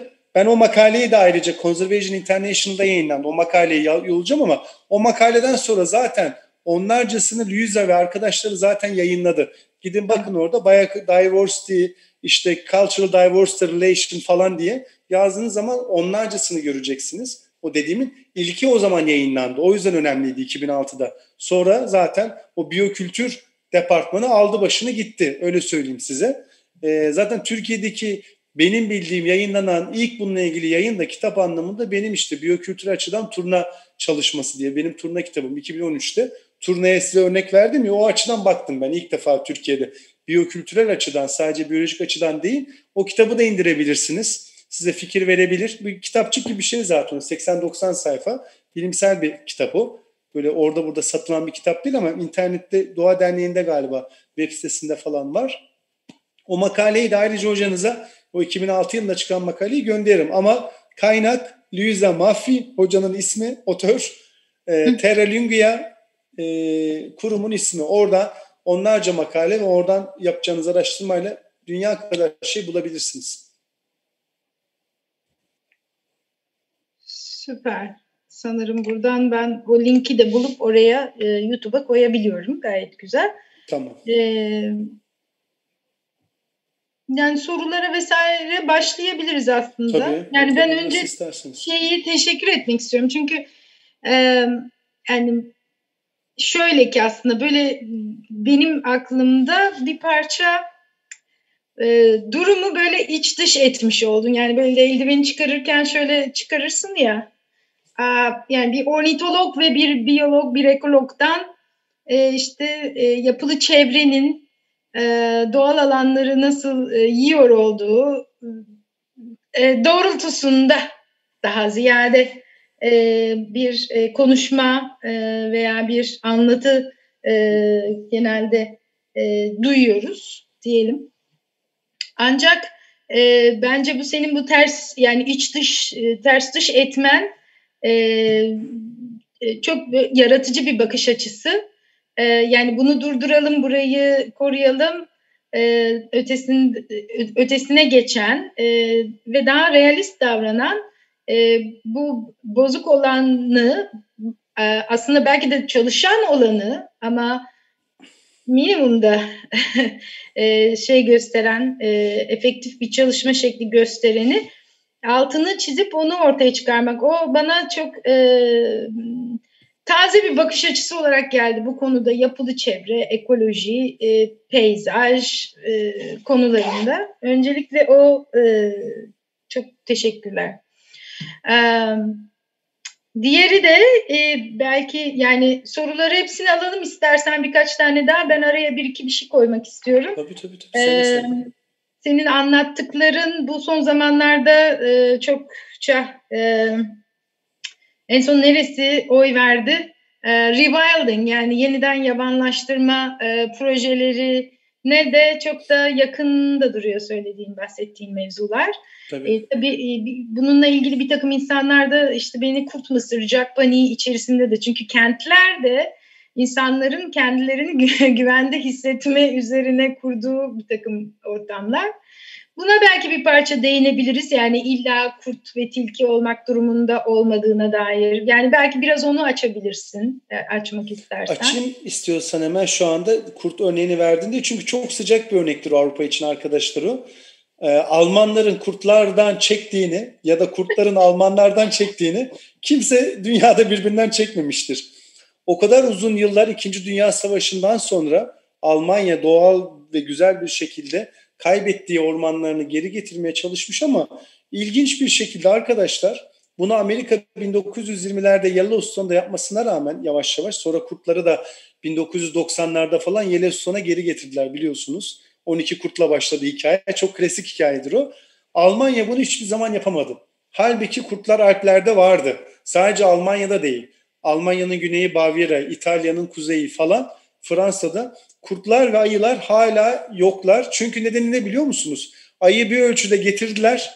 Kurdu da artık İtalya'da falan Fransa'da okeyler gelmeye başladı. Almanya'da hala yok. Çünkü tam hocanızın söylediği nedenle insanlar tamam diyorlar kuş börtü böcek güzel orman güzel ama kurt kadar değil arkadaş. O kadar da değil yani. Hani o da gelmesin bir zahmet. Ayı da gelmesin. Yaklaşık bu zamana kadar hala Almanya'da reintroduction hikayesi vardır işte bu yeniden rewild etme, yeniden yerleştirme, tanıştırma diyelim ya da o canlıyı o şeyle e, hala mesela yapılmadı. İnsanlar hala direnç gösteriyorlar. Haklı ya da haksızlar ama bu bir gerçek. Bu bir sorun bizim için. Yarın bir gün biz Türkiye'de ya da dünyanın bir yerlerinde böyle bir şey yapmaya niyetlendiğimiz zaman bunu söylemin nedeni şu. Bu sorunla biz de karşılaşabiliriz. Ve buna çözüm bulmak da bizim hem etik olarak hem bilimsel olarak görevimiz. Yani bu soruya hazırlanalım öyle söyleyeyim. Çünkü e, yapacak da bir şey yok bir yandan. Çünkü zaten İstanbul dediğiniz yerin ben Çengelköy'de uzun süre oturdum. Geceleri bayağı Çengelköy'de o mezarlık yokuşunu biliyorsanız o mezarlık Kuleli Askeri'nin orada evim oradaydı yani böyle boğaza bakan bir yerde o yeşilliğin içinde bir yerde bayağı geceleri tilkiyle domuzlar inerdi benim bahçeme. Yani İstanbul'un içinde Çengelköy'ü söylüyorum size düşünsenize. Dolayısıyla bunun peşine kurt da gelir. Domuz varsa bir yerde, tavşan varsa kurt da olur. Zaten burası eskiden kurdun çakalın yeri. Ben zaten Çengelköy'e yerleştiğim için hayvanı yerine almışım. Dolayısıyla e, etik açıdan, doğal açıdan aslında sıkıntı yok diyebiliyoruz. Ama bir yandan da Aslı hocanızın dediği gibi insanlar doğal olarak korkuyorlardı. Çoluğu çocuğu sokakta, e, kendi güvenlikleriyle ilgili kaygı duyuyorlar vesaire. Bunun bir dengesi olur mu olmaz mı kısmı dünyanın şu anda hala çözüm bulamadığı bölüm. O yüzden de şöyle yapılıyor. Alplerin belli bir kesiminde söyleyeyim size. Köylülerle anlaşılıp büyük yerleşim yeri olmayan yerlerde kurtlar falan salındı. Kurtlar ara ara oradaki yaşayan çobanların birkaç tane koyununu öldürüyorlar arkadaşlar. Bildiğim için sana yakından. O çobanlar da diyor ki senin kurtların saldığın kurtlar ona zaten insana zarar olmaz kurdu. Üç koyunumu yedi arkadaş hükümet bana üç koyun parası ver. Böyle bir regülasyona gittiler. Öyle söyleyeyim size. Ama o da doğal alanlarda, kent içinde değil. Daha hala kentin içinde böyle bir rivayet olayı özellikle yırtıcı yönelik yok. Öyle bir şeyle yüzleşme potansiyeli de yakın zamanda görünmüyor. Ama bu bizim sorunlarımızdan biri olacak. Muhtemelen de insan bunu ancak sınırlandırılmış alanlarda izin verecek. Yani kendi alanın içine girmeyecek de. Çünkü onun da haklı şeyleri var. Ama bilelim ki etik olarak o hayvanın da orası yaşama alanı. Biz zaten onun yaşam alanının üzerine o kenti kurduk. Öyle bakalım duruma. Ama bu demek değil ki tekrar geri gelecek. izin vereceğiz, vereceğiz, vermeyeceğiz. Ama böyle bir sorunsal var. Diğer canlılar için olmasa da yırtıcılar için ne yazık ki bu durum şu anda hala dünyada aktif olarak tartışılan ve çözümde bulunamayan bir durum. Öyle söyleyeyim cevap olarak. Teşekkürler. Nihan bekliyordu sabırlı bir şekilde. Ben Sezgin'in söylediği yani o zaman aslında belki sormam daha mantıklı olurdu ama bu sürdürülebilir turizmin konuşulurken bir şeyden bahsettiniz. Bu mesela Louvre Müzesi'nde işte sergilenenlerin günde o kadar insanın gitmesine gerek yok. Sonuçta hani evde farklı tekniklerle, teknolojilerle artık görebiliyoruz konusu.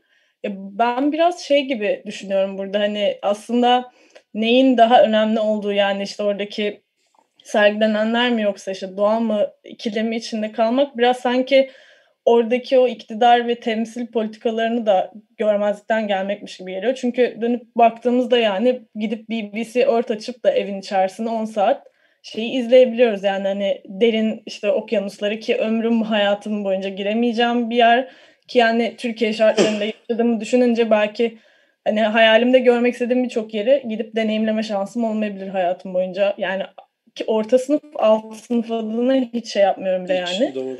Ee, biraz sanki hani o noktada aklıma sürekli şey geliyor. Yani bir yıla yakın ben bir Çağdaş Sanat Müzesi'nde çalıştım İstanbul'da. Ve en çok dikkatimi çeken şey e, oraya gelen etraftaki mahallelerde oturan çocuklar oraya geliyorlardı. Ve onlar için çok büyük yani çok farklı bir deneyim gerçekten. Ya aslında benim için o herkes için çok farklı bir deneyim gerçekten ama e, onların yaklaşımı çok hoşuma gidiyordu. Çünkü direkt şey diyorlardı yani böyle biraz gezdikten sonra işte abla ya buraya hani neyin konacağına kim karar veriyor, kim seçiyor yani hani nasıl belirleniyor bunlar diye ve biz hiçbir şey diyemiyorduk yani hani hiçbir cevap çünkü biz de bilmiyorduk neden konulduğunu. Ve hani o noktada bence önemli olan sanki hani bu politikalar ve o bürokrasi aslında hep bunun altına kayıp gidiyormuş gibi. Çünkü baktığımızda bugün aslında biz nasıl işte doğada ulaşamadığımız şeyleri geri çağırmak istiyorsak bir yandan işte kolon, koloni döneminden sonra artık işte birçok Güney Afrika ülkesi işte Namibya, Nijerya aslında kendi British Museum'dan mesela yıllardır bir müzakere içerisinde ve kendi onlara ait yani onlardan çalınmış olan mirası geri almaya çalışıyor. O yüzden bana o şeyle çok farklı gelmiyor yani işte bir Kuzey Ormanı savunmasından çok farklı gelmiyor ama sanki hani biraz daha aktivizm ve işte bunun için daha farklı bir müze için nasıl bir aktivizm üretilir, ne yapılabilir konusunu çok düşünüyorum ben. Ha çok aktif içinde olamıyorum çok uzun bir zamandır ama e, sanki hani aktivizmin çok önemli bir yeri varmış dönüşümde gibi geldi. Bilmiyorum siz ne düşünüyorsunuz bu konuda? Bence şöyle söyleyeyim. Birincisi aktivizmin arkadaşlar şartsız, amasız, falansız, filansız hayatımızın her yerinde olması lazım. Bir kere bu ön koşul. Yani bunun için bir hatta neden bile gerek yok. Yani bizim bir şekilde aktif ve aktivist olmamız lazım. Hani en başında anlattım ya critical thinking denen hikaye. Zaten insan hayatında o düsturu aldığı zaman genel olarak zaten aktivist olmak zorunda oluyor. Çünkü illaki size uygun olmayan bir fikir bulmaya başlıyorsunuz, kritik etmeye başladığınızda ve bu onu savunmaya yönelik sizde bir içgüdü oluşturuyor. Ve çevrenizde de buna yönelik 3 kişi, 5 kişi, 10 kişi, 50 kişi bulduğunuz anda hakkınızı aramaya başlıyorsunuz. Yani bu zaten bence müzeden, sürülebilir turizmden ya da ne bileyim iktidarlardan farklı olarak zaten hepimizde doğamız gereği otomatik olarak artık olması gereken bir şey. Onu bir kere söyleyeyim. Yani ben de uzun yıllar Doğa Derneği gibi mesela Doğa Derneği'nde 4 yıl çalıştım. Yani bu Türkiye'nin doğasıyla ilgili. Dünyanın başka birçok derneğine danışmanlık yaptım. Yani hani bunların bazıları aktivist de kurumlardı öyle söyleyeyim. Yani bu bence her türlü olması gerekiyor. İkinci durum da şu. Bu konuyla ilgili onu benim mutlaka e, bir şeyine varmamız lazım. E, ben her zaman kişisel olarak çözümden yanayım ve çözüm üretmeden yanayım. Yani elbette sorunları dile getirmek, güzel sorular sormak zekanın her şeyden önce güzel bir belirtisidir. Önemli olan soruyu sorabilmektir en başında. Bu konuda ben öncelikle sizi kutluyorum yani soru sorabildiğiniz için. Bizlerin hala dünyada bu kadar baskıya rağmen sorular sorabildiği için. Sorudur asıl zeka. Çözüm bir şekilde zorunlu da olsa hayatta kalmayla ilgili güdü olduğu için bulunabiliyor. Ama soru sormak önemlidir. Şuna getireceğim sohbeti bu dediğiniz olayı. Bu müzecilik olayı bahsettim ya siz de örnek verdiniz. Çocuklar geliyor gidiyor gitmiyor falan filan. Bu benim bahsettiğim olay aslında şu. Siz örnek olarak başka bir yere verdiniz ama ben size Berlin'deki Bergama'za Bergama anlatabilirim. Bizim Bergama'nın neredeyse tamamı Berlin'de. Bunun gibi British Müzeyinde Anadolu'yu bulursunuz. Yani hani Troya'nın ürünlerini işte o bizim o ünlü birçok Karun hazinelerinin bazılarını yani Anadolu bayağı bildiğiniz aslında Orta Avrupa'da İngiltere'de hala bazılarını ara ara alıp haberlere çıkıyor. Yani bu ne yazık ki böyle ama bence artık bununla uğraşmanın çok vakti değil. En başında ilk slayttı galiba bir şey söyledim. Bu bize bir arkadaşlar fırsat veriyor bu dediğimiz olay. Teknoloji ve kentlerin gerçekten o gözle bakıp da artık doğasını ve kültürünü anlayıp baktığımız zaman artık insanlar en azından ben sadece Louvre Müzesi peşinde olmayacağım. Ben eğer şöyle bir fırsat veriyor bana dedim ya ben İzmir'i, İstanbul'u gerçekten şu gözle sizlerin bu yeni gözleriyle tasarlayıp onları ön plana çıkarıp bir kendisine açık hava müzesi haline getirip deneyimleme alanı haline getirirsem inanın bana biz artık Bergama'nın eserlerini Berlin'den istemek zorunda kalmayacağız. Çünkü vermeyecekler. Bir, boşuna istiyoruz. 20-30 yılda bir 3-5 parça bir şey gönderiyorlar, uyutuyorlar 20-30. Ben bildim bileli istenir bunlar. Bence zaten artık gerek de yok. Bergama bakın ben İzmir'de yaşıyorum bir aydır. Bergama'nın UNESCO planlama sürecinde de hasbel kadar belki olacağız. Şu anda teknik olarak da işin içindeyim az buçuk. Oradan söyleyeyim ki Efes'in planını yapıyoruz şu anda. Efes'in de bazı biliyorsunuz kaçırılmış gitmiş o kapılar vesaireler falan filan. Ama artık bence nafile onlarla uğraşmak. Biz niye şu anda bunlarla mesela uğraşmaktansa Efes'i gerçekten çağdaş, açık hava ve böyle bu yeni teknolojinin de getirdiği kenti böyle bütünüyle bir müze haline getirmiyoruz ki. Mesela dış miraklar bizi engelliyorlar mı bunu yapacağız deyince? Yok. Mesela anlatabiliyor muyum? Elbette hakkımızı savunalım. Çocukları götürelim, bizden kaçırdıklarını geri isteyelim. Biz aldıysak başka ülkelerden geri verelim. Örnek veriyorum. Bunda lafım yok, yapalım. Ama artık bence bakın o yüzden bu sunumun ve sizlerin katkısı önemli. Kentler, kent dışındaki alanları da yapalım. Biz bu, bugün konumuz diye. Kentlerin her biri bakın müze ve her birini biz müze olarak artık bakıp tasarlarsak bayağı bildiğiniz gerek yok artık o bir müzeye bu müzeye olsun. Bakın şurada görüyoruz şu fotoğraf bile ne diyorum 8 bin yıl arkadaşlar bir kilometrede. Mesela biz bununla ilgili bir bağlantı yaptık, bunu bir müze haline getirdik, bunu bir konseptle yaptık da İngilizler mi biz mesela bize engelledi? Derin devlet mi girdi? Yok dedi Ferdi Hoca bunu yapamazsın falan. Yok tembelliğimden işte. Yani size anlatıyorum falan filan olmamış. Ya devlet destek vermemiş bir şekilde olmamış. Anlatabiliyor muyum? Hani bunun gibi 50 bin tane artık iş üretebiliriz. Teknoloji bizim yanımızda. Artık biz de bütün bilgiye eskiden böyle değildi. Siz öylesiniz artık. Biz de şanslıyız. Bakın ulaşabiliyoruz. Birdenbire pat diye bilmem ne konsepti konusunda hemen yayınları okuyabiliyorsunuz. Bu demek oluyor ki fırsat eşitliği bir ölçüde artık var. Eskiden yoktu. Alan almış götürmüş işte Bergama'yı zamanında öyle düşünün. Yani Atal alan Üsküdar'ı geçmiş hikayesi var ya en son seçimler aklımıza kazınan o ünlü atasözümüz. Onun gibi bence onlarla artık çok bakmayalım, uğraşmayalım. Yani sürdürülebilirliği de bir ölçüde artık buralarda, kentlerde, yaşam alanlarında, doğada bu tür bakış alanlar yani. Benim kişisel duruşum en azından bu yönde öyle söyleyeyim.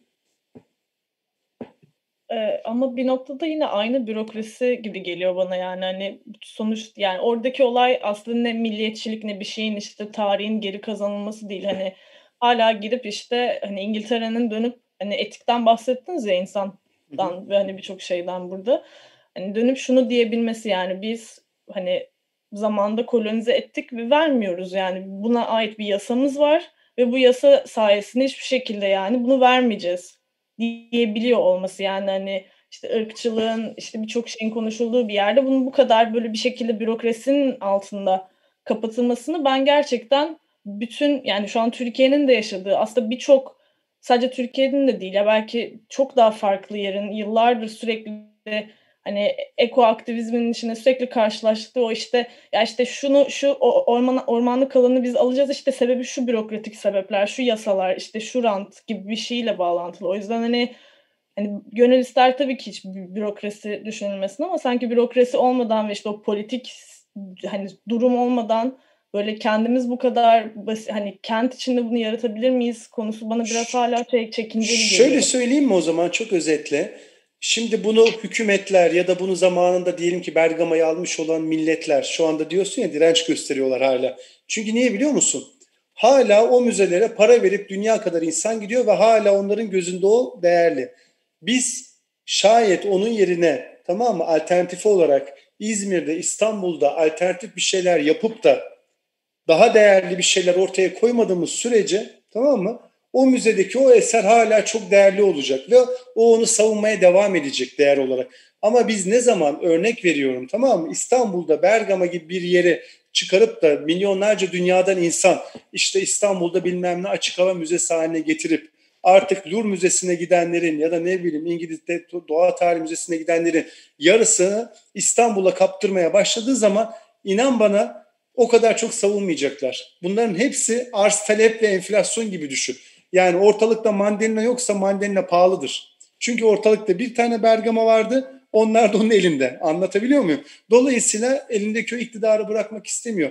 Ama biz o Bergama'yı başka yollarla, başka şekilde, başka şeyle tesis edip de insanları da yanımıza çekersek inan bana eskisi kadar onu savunmayacaklar. Klasik ekonominin temeli bu. Şu anda çünkü onun için değerli onu tutuyor. O gücü. Mesela ben kişisel olarak buna inanıyorum. O yüzden çözümden tarafım. Yani insanı değiştireceğim diye bir gayem yok ama kendi e, uygulamamı, kendi bakış açımı değiştirip belki avantaj elde edebilirim bu konuda. Ben öyle yaklaşıyorum duruma. Öyle söyleyeyim yani. Benim en azından kendimin geleceğe dair iş yapmadaki motivasyonum hep budur. Hep tamam o öyle mi? Okey. Mücadele edemiyor muyum? Güçlü mü? Tamam onu da anlıyorum. Ama ben ne yapabilirim? Ben eğer gerçekten onun yerine bir şey koyabilirsem ve aynı o değere gelirse o zaten elindeki o değer yarıya inmiş olacak. Klasik işte bahsettiğimiz işte arz talep zinciri arkadaşlar. Öyle bakın duruma.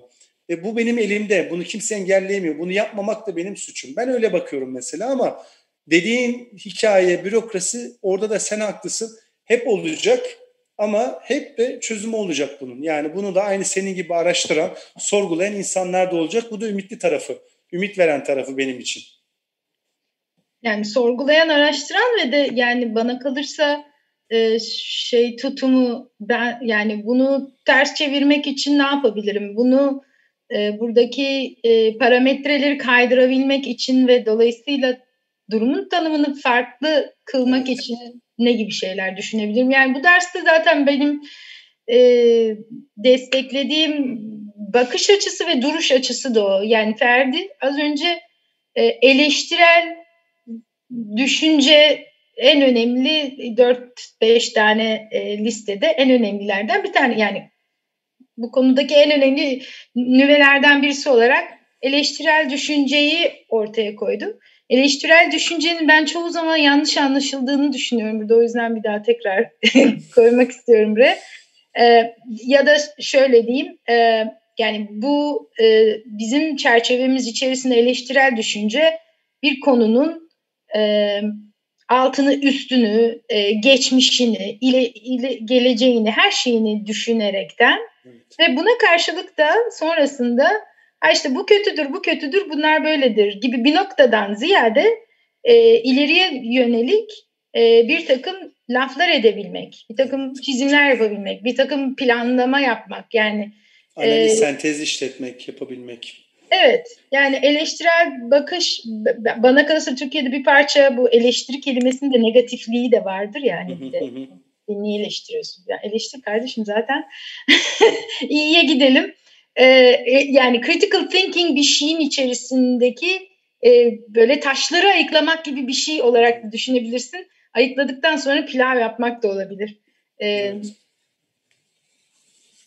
Onun bir altın çizeyim dedim. Başka e, yani Nihan'ın biraz daha şey yapmak istiyorum, devam ettirmek istiyorum. Tabii. Bence aktivizm mevzusunu da ortaya getirmen de enteresan. E, yani çok enteresan işler çıkartabilirmişsin gibi geliyor. Mesela işte hep yani yurt dışında olan ki bizim olayımız arkeoloji ve şey değil ama diyelim ki bütün bunlar kimler nerede bunun bir haritası vesairesi sonra onların nereden alındığına dair bir çalışma ve sonra Ferdi'nin dediği gibi onların e, bütün mekanlarında o mekanları e, olduğundan daha da e, karmaşık, e, son derece e, hayvanı, börtüsü, böceği, e, ekolojisi, her şeyi e, yüzde yüz bir takım e, yapma üzerine bir takım projeler önermek. Mesela bu bana aktivizm olarak geliyor. Bana çünkü aktivizmin çok çeşitli formatı var. E, bunlardan sadece bir tanesi e, sokağa çıkmak. E, ama aynı zamanda mesela e, bunun belki örneğini daha önce de verdim. E, ama dar gelirli ve iyi gıdaya ulaşamayan New York'taki mahalle, New York değil pardon LA'deki bir takım siyahi mahallelerde bunun üzerine çok fazla rezistans gösteren adını tabii ki hatırlamayacağım ve size yollayacağım e, onun başlattığı bir e, bahçe var, bir bostan var e, ve I was tired of resisting, so I started a garden diyor. ve e, yani e, bu gelir düzeyinin e, iyi, adil, temiz ve kaliteli gıdaya erişimi yok. İşte burada iyi süpermarket açılmıyor bıdı bıdı bıdı bıdı bıdı bıdı demenin ötesinde bir gün bundan gerçekten yorgun düşüyor. Ee, ve bir bahçe başlatıyor, bir bostan başlatıyor. Şu an thriving yani inanılmaz e, herkes geliyor oradan şeyini alıyor, sebzesini alıyor vesairesini. Bu da yani aktif olma, aktif olarak performing something o da bir cins aktivizm cinsi. Bence de katılıyorum. Ama bu arada öbürü de değerlidir. Yani Tabii, aktivizm çeşitleri öyle. var. Ama işte ben birazcık daha... evet aynen öyle yani. Bu da önemli. Sivil itaatsizlik de diyebilirsiniz arkadaşlar buna bir ölçüde. O da bir kavram. Belki araştırın yani onu da. Ee, bir ölçüde de sivil itaatsizliktir aslında. Yani hocanızın demin verdiği örnek ya da benim de vermeye çalıştığım. Çünkü alışıla gelmiş kalıpların dışında bir şey üretiyorsunuz. Birazcık itaatsiz oluyorsunuz çünkü aslında. E, o anlamda da değerlendirilebilir ama birçoğuna katılıyorum hocamızın söylediğini yani. Ben bir soru sormak istiyorum. Ee, bizimle paylaşmış olduğunuz kitabınızın ilk kısmında, yani okuduğumuz kısımda daha doğrusu, e, şöyle bir cümle geçiyor. İşte Hollywood klişesi olan dünyayı önce mahvet sonra kurtar e, senaryosundan kurtulmamız gerekiyor gibi. O benim çok hoşuma gitti. Çünkü benim de aslında e, uzun zamandır üstüne düşündüğüm bir şeydi bu. E, daha doğrusu şöyle bir durumdu benim için. E, hani bugüne kadar hani daha doğrusu yetişkin olduğum güne kadar daha doğrusu öyle söyleyeyim. Hep böyle dünyayı istediğimiz gibi kullanabiliriz. Zaten bir gün biri gelip kurtaracak düşüncesi vardı ve sonradan tabii ki gerçekle yüzleşince bunu böyle olmaması gerektiğini anladım.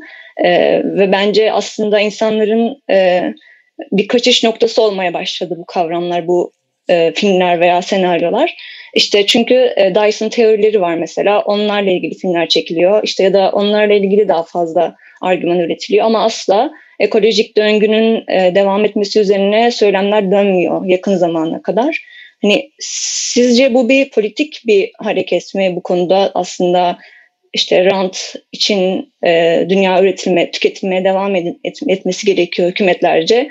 E, birinin çıkıp ekosistemi korumalıyız dediği anda bu politik bir söylem olduğu için mi acaba hani filmlerde, gösteri dünyasında, her yerde, reklamlarda, her yerde bunun bir kurtarıcı tarafından kurtarılması gereken bir alan olarak mı tanımlanıyor diye sormak istiyorum aslında. Şimdi bu cevabı olmayan bir şey onu söyleyeyim. Cevabını da bulamazsınız kolay kolay.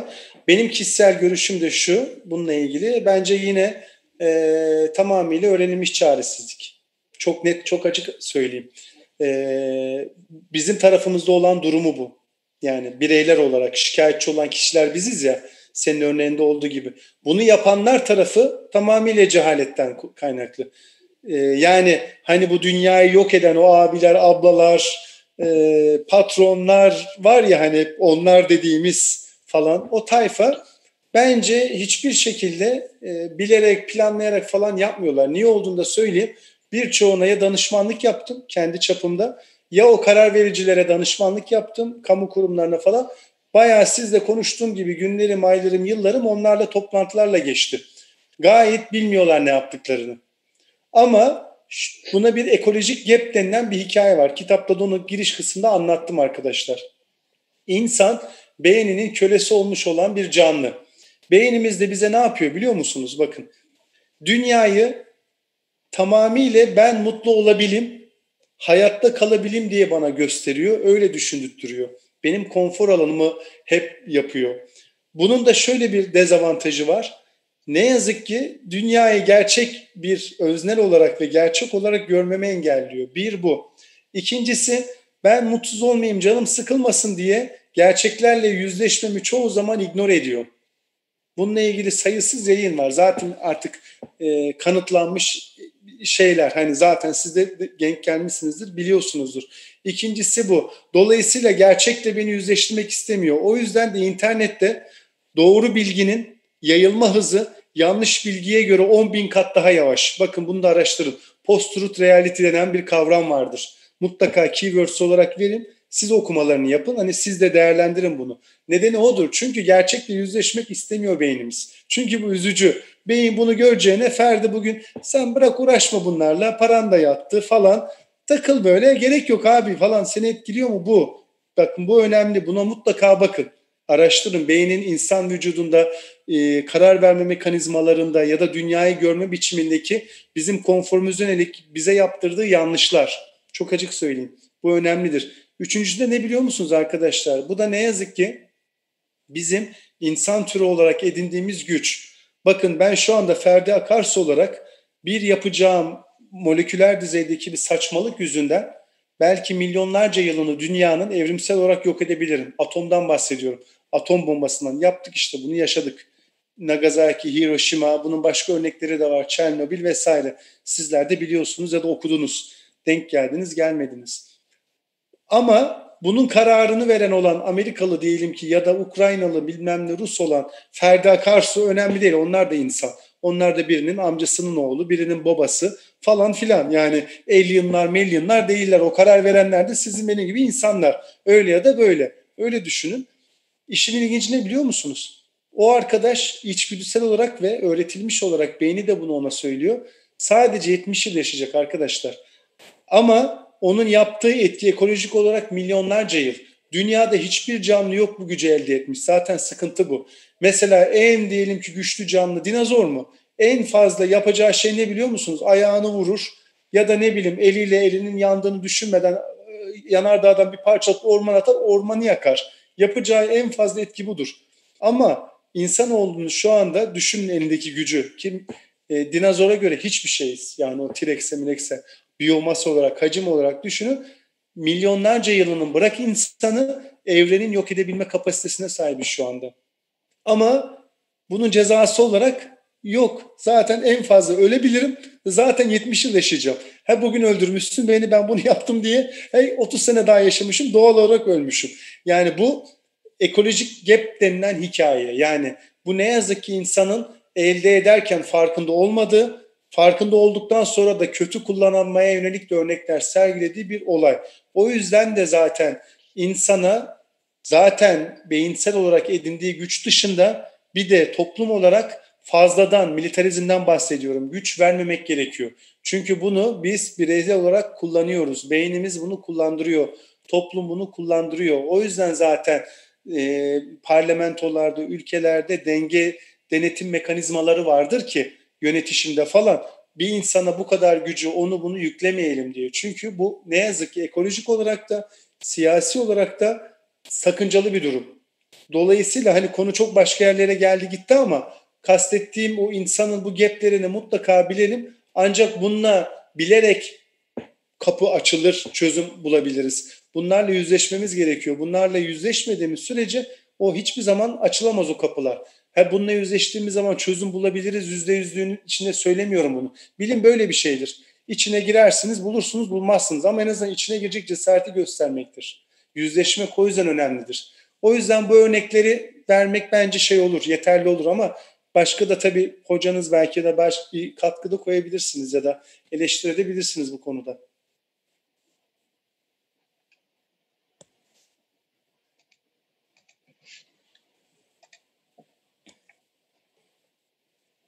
Evet. Bir Çok ağır konulara girdik tamam. Aa, peki. Ee, dördüncü sınıf öğrencileri de burada var mı? Soru sormak isteyenler. Parmağımla gösterip bir şey yapayım. yani ben şey düşündüm. Pardon. Ee, şunu düşündüm aslında e, hani biz insanlar olarak hayvanlarla kendimi kıyasladığımda ilk başta ormanda yaşıyorduk. Şehirlere taşınmamıştık ve e, orada da gayet uyumlu yaşayabiliyorduk. Ama bizim bir farkımız var. Mesela ben bir aslanla karşı karşıya geldiğimde kendimi koruyamam. Yani fiziksel olarak koruyamam. E, onların fiziksel güçleri var ama bizim yok. Ama bizim başka bir gücümüz var. E, biz bir şeyleri eleştirel bakabiliyoruz sanırım bu içgüdüsel korunma e, isteğini beynimizde yaptığımız için artık şehirlerde yaşıyoruz.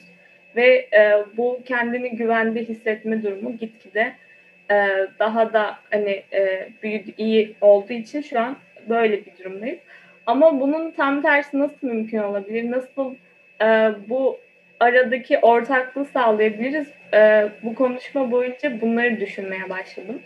Yani e, tam tekrar ormanda tam olarak yaşayamayız, belki var olamayız ama bunun bir ara kesişimi var. E, nasıl işte tarlalar, e, tarım, işte ormanları gitgide yok ediyorsa onun içine e, girmeye başladıysa, onun alanını azaltmaya başladıysa bunun aslında tam bir kesişim noktası da var. Yani iki ayrı yer yok. Bunun bir e, kesiştiği ara nokta da var. Belki de biz insanlar olarak tam o ara noktaya yerleşip orayı e, biraz kontrol altına almaya mı çalışmalıyız? Yani benim fikirlerim böyle oldu.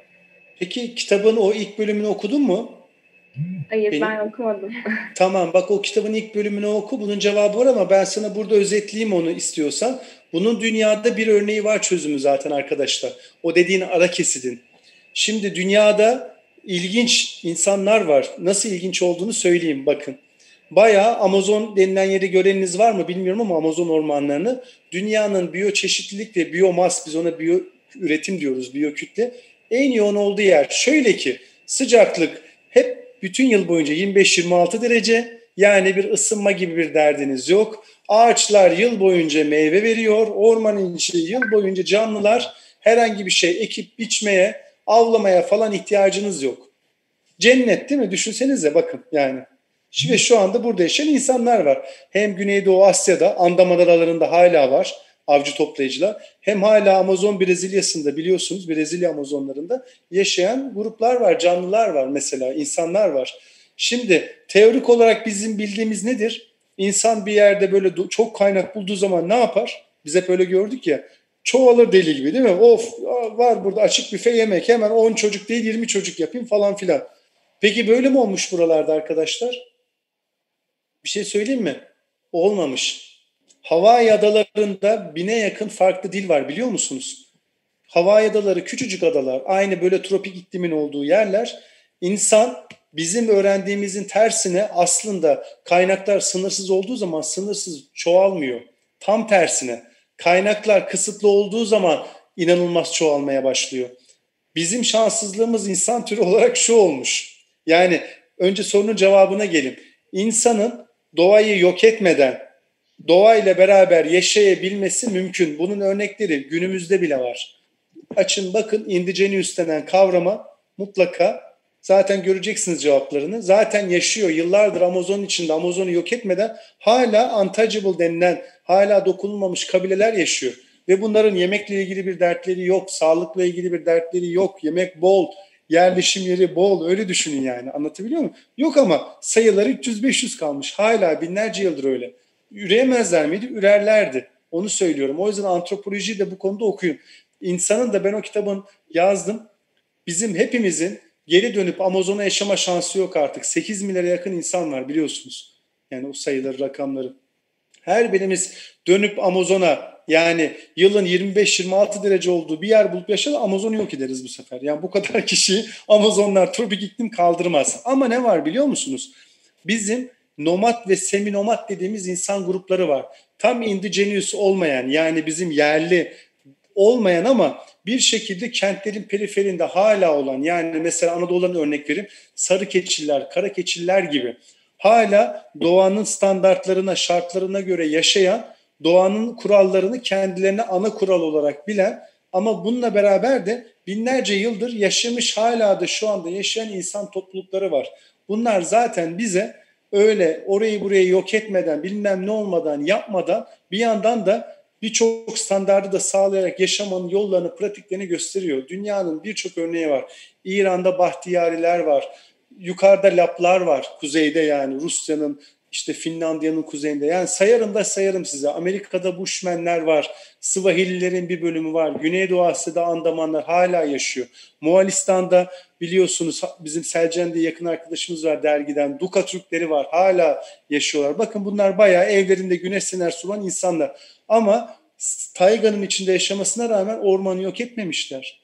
Biz olsak da yok etmemişler, olmasak da yok etmemişler. Yani bunların pratikleri dünyada var ama Bizim bunu görüp bunu içselleştirip bunun doğruluğunu işte sizlerin, benim tasarımlarımızda, makalelerimizde, filmlerimizde her türlü entelektüel, bilimsel yayınımızda artık görünür kılıp onu talep edilir hale getirmemiz gerekiyor. Piyasa böyle bir şey. Yani hep söylüyorum böyle çok para göz gibi görünüyorum ama arz talep arz talep diye çirkinleşmiyor olurumdur umarım. Ama ne yazık ki öyle bir şey. Yani sosyal olan durumlarda bir arz talep dengesi gelişiyor. O yüzden ben bunu bir bizim artık ödevimiz ve yapmıyorsak da bizim suçumuz olarak görüyorum. Yani o yüzden ben size anlatıyorum. Hocanız kim bilir bunun gibi size binlerce şey anlatıyordur dünyadan, bostanlardan, İstanbul'daki mücadelelerden yani ne kadar çok direniş var dünyada şu anda. İstanbul'da, İzmir'de, orada, burada. Dolayısıyla bence bu yönde bakalım her zaman umut var.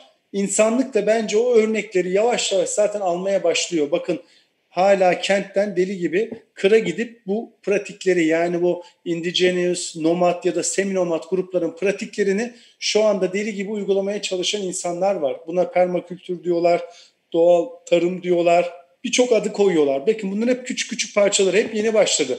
Toplasanız mağazası 25 sene yok bunların. Hep yeni giriyor hayatımıza. Ve bu bir trend. Belli ki biz buraya doğru ilerliyoruz. Ama buraya doğru ilerken doğru ilerlesin diye sizler varsınız. İşte hocanız var. Bilimsel olarak bunları ortaya koyan, tasarım olarak bir dil oluşturan, bir kurasyon yapan vesaire. O yüzden kıymetli bu olay ama sorunuzun cevabı evet var, örnekleri de var. Biz de ona doğru ilerliyoruz.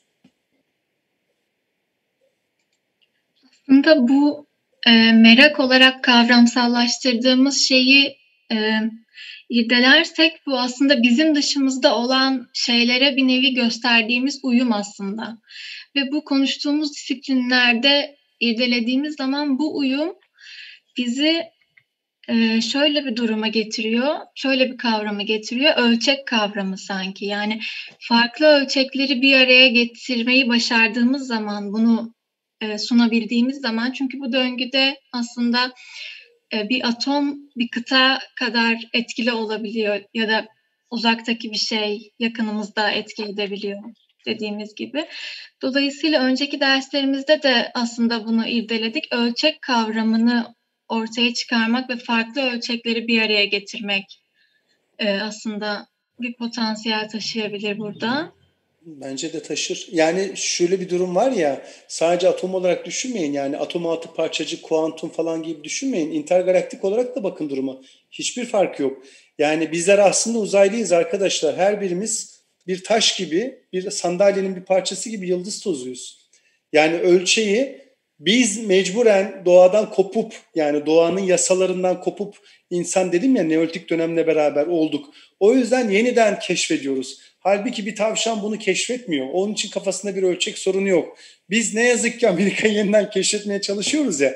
Yani o bizdeki en büyük dert şu anda. Dünyayı unuttuğumuz o birliği, kanunu, kuralını biz yeniden insani olarak tekrardan keşfedip ortaya koyma derdindeyiz ve bence iyi de bir yoldayız. Umarım o yolu üzerinde çok daha fazla zayiat vermeyiz. Benim umudum da o. Yani o yüzden hızlansın bu olay diye yapıyorum ama ölçek yüzde yüz önemli bir şey ve işimiz de çok zor.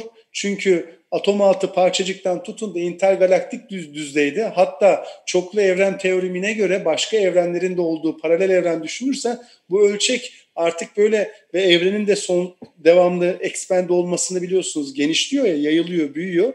Ölçek inanılmaz sonuç bir sorunsal haline geliyor. Ama bir yandan da bence rahatlık haline geliyor. Onu da söyleyeyim. Bunu da başka bir şeyde hocanız ayarlasın konuşmada yapalım. Böyle astrofizik yani çok ilgilendiğim bir konudur. O yüzden böyle çok e, gaza gelip içine girmek istemiyorum şu anda. Çok güzel bir yere girdiniz diye ama bu Temerov denen bir olay var işte bu entropi hikayesi. Yani tasarımda da kentlerde de bu entropi hikayesi bence önemli. Çünkü niye biliyor musunuz? Sizler tasarımcısınız, mimarsınız. Biz şu an bir şeyi düzenli kılmaya çalışıyoruz değil mi? Şekil, şema tasarlıyoruz. Entropi ne yapıyor? Termodinamik 2. Tam tersini. Dengesiz hale getirmeye çalışıyor. Tamamıyla düzensiz hale, kaos yaratmaya çalışıyor fiziki olarak.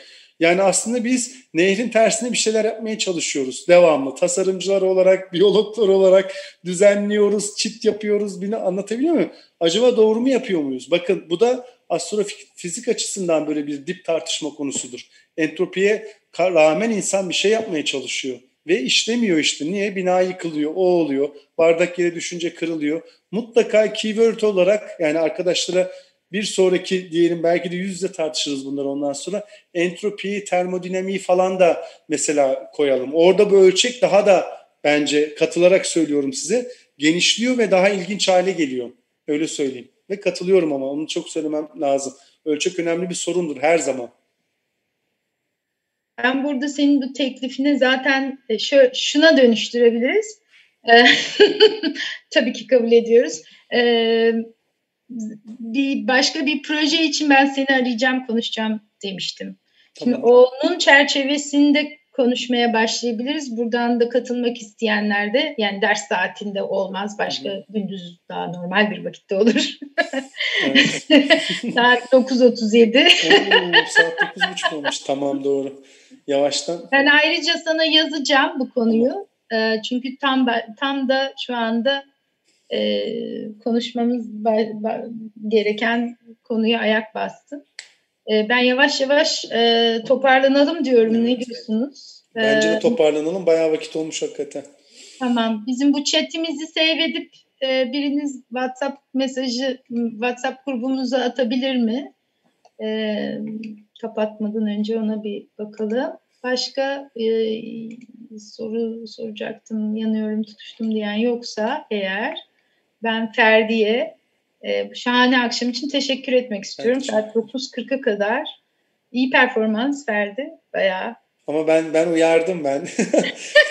Yaklaşık 10 yıldır konuşmacıyım yani çeşitli üniversitelerde. O yüzden hani şeyimdir. O yüzden ama e, bir şey söyleyeceğim. Bunu siz olduğun için söylemiyorum. İlk defa bu kadar interaktif e, geçti. Bu online ortamdan bahsediyorum. Yani bu bir yıldır bu işler böyle oluyor ki ben çoğu üniversiteyi hocanız biliyordur. Veriyorum zaten İTÜ'sünden tutun da Bilkent'ine vesairesine kadar ara ara sağ olsunlar kıymet verip çağırıyorlar.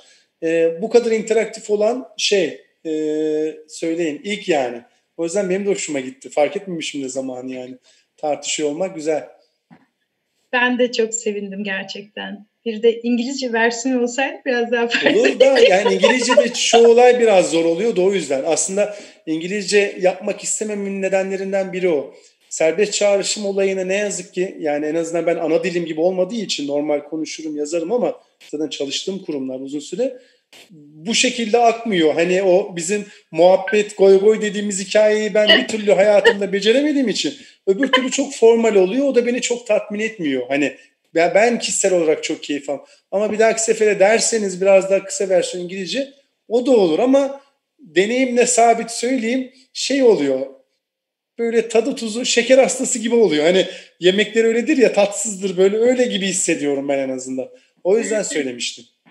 Yok yani bu, bu sefer hem e, konuşmadan önceki metin senin yazdığın ve Türkçe olan bir referans kitabı olduğu için e, ben dilleri de biraz oturt, oturtmaya çalışıyorum. Şimdi e, şu da çok ayrı bir e, efor gerektiriyor diyelim 2-3 tane İngilizce makale okudunuz ve onu Türkçe tartışmaya çalışıyorsunuz. Yani oradaki simultane tercüme de herkesin üzerinde ayrı bir yük oluşturuyor. Dolayısıyla her dili, her e, işi kendi dilinde tartışabilmeyi de biraz burada teşvik etmeye çalışıyorum. Tabii tabii tabii o da önemli. O zaman e, o zaman arkadaşlar bugün Ferdi ile beraber çıkıyoruz. Normalde bir kapatıp bir yarım saat konuşuyorduk falan ama bugün 9.40'dayız gerçekten çok şahane bir e, konuşmaydı. E, yani benim benim kafamı açtın Ferdi. Teşekkür ederim. Çok sağ olun. Evet. Gerçekten Benim de açıldı. Tartışınca benim de geliyor. Yeni fikirler geliyor. O yüzden çok kıymetli. Çok güzel. Ben sana ayrıca yazacağım başka bir toplantı şey e, e, sohbet, muhabbet, tartışma randevusu için. Herkese o zaman iyi akşamlar ben. İyi akşamlar. Bitiriyorum. Haydi görüşmek üzere. İyi akşamlar. Teşekkür ederiz. İyi akşamlar. İyi akşamlar.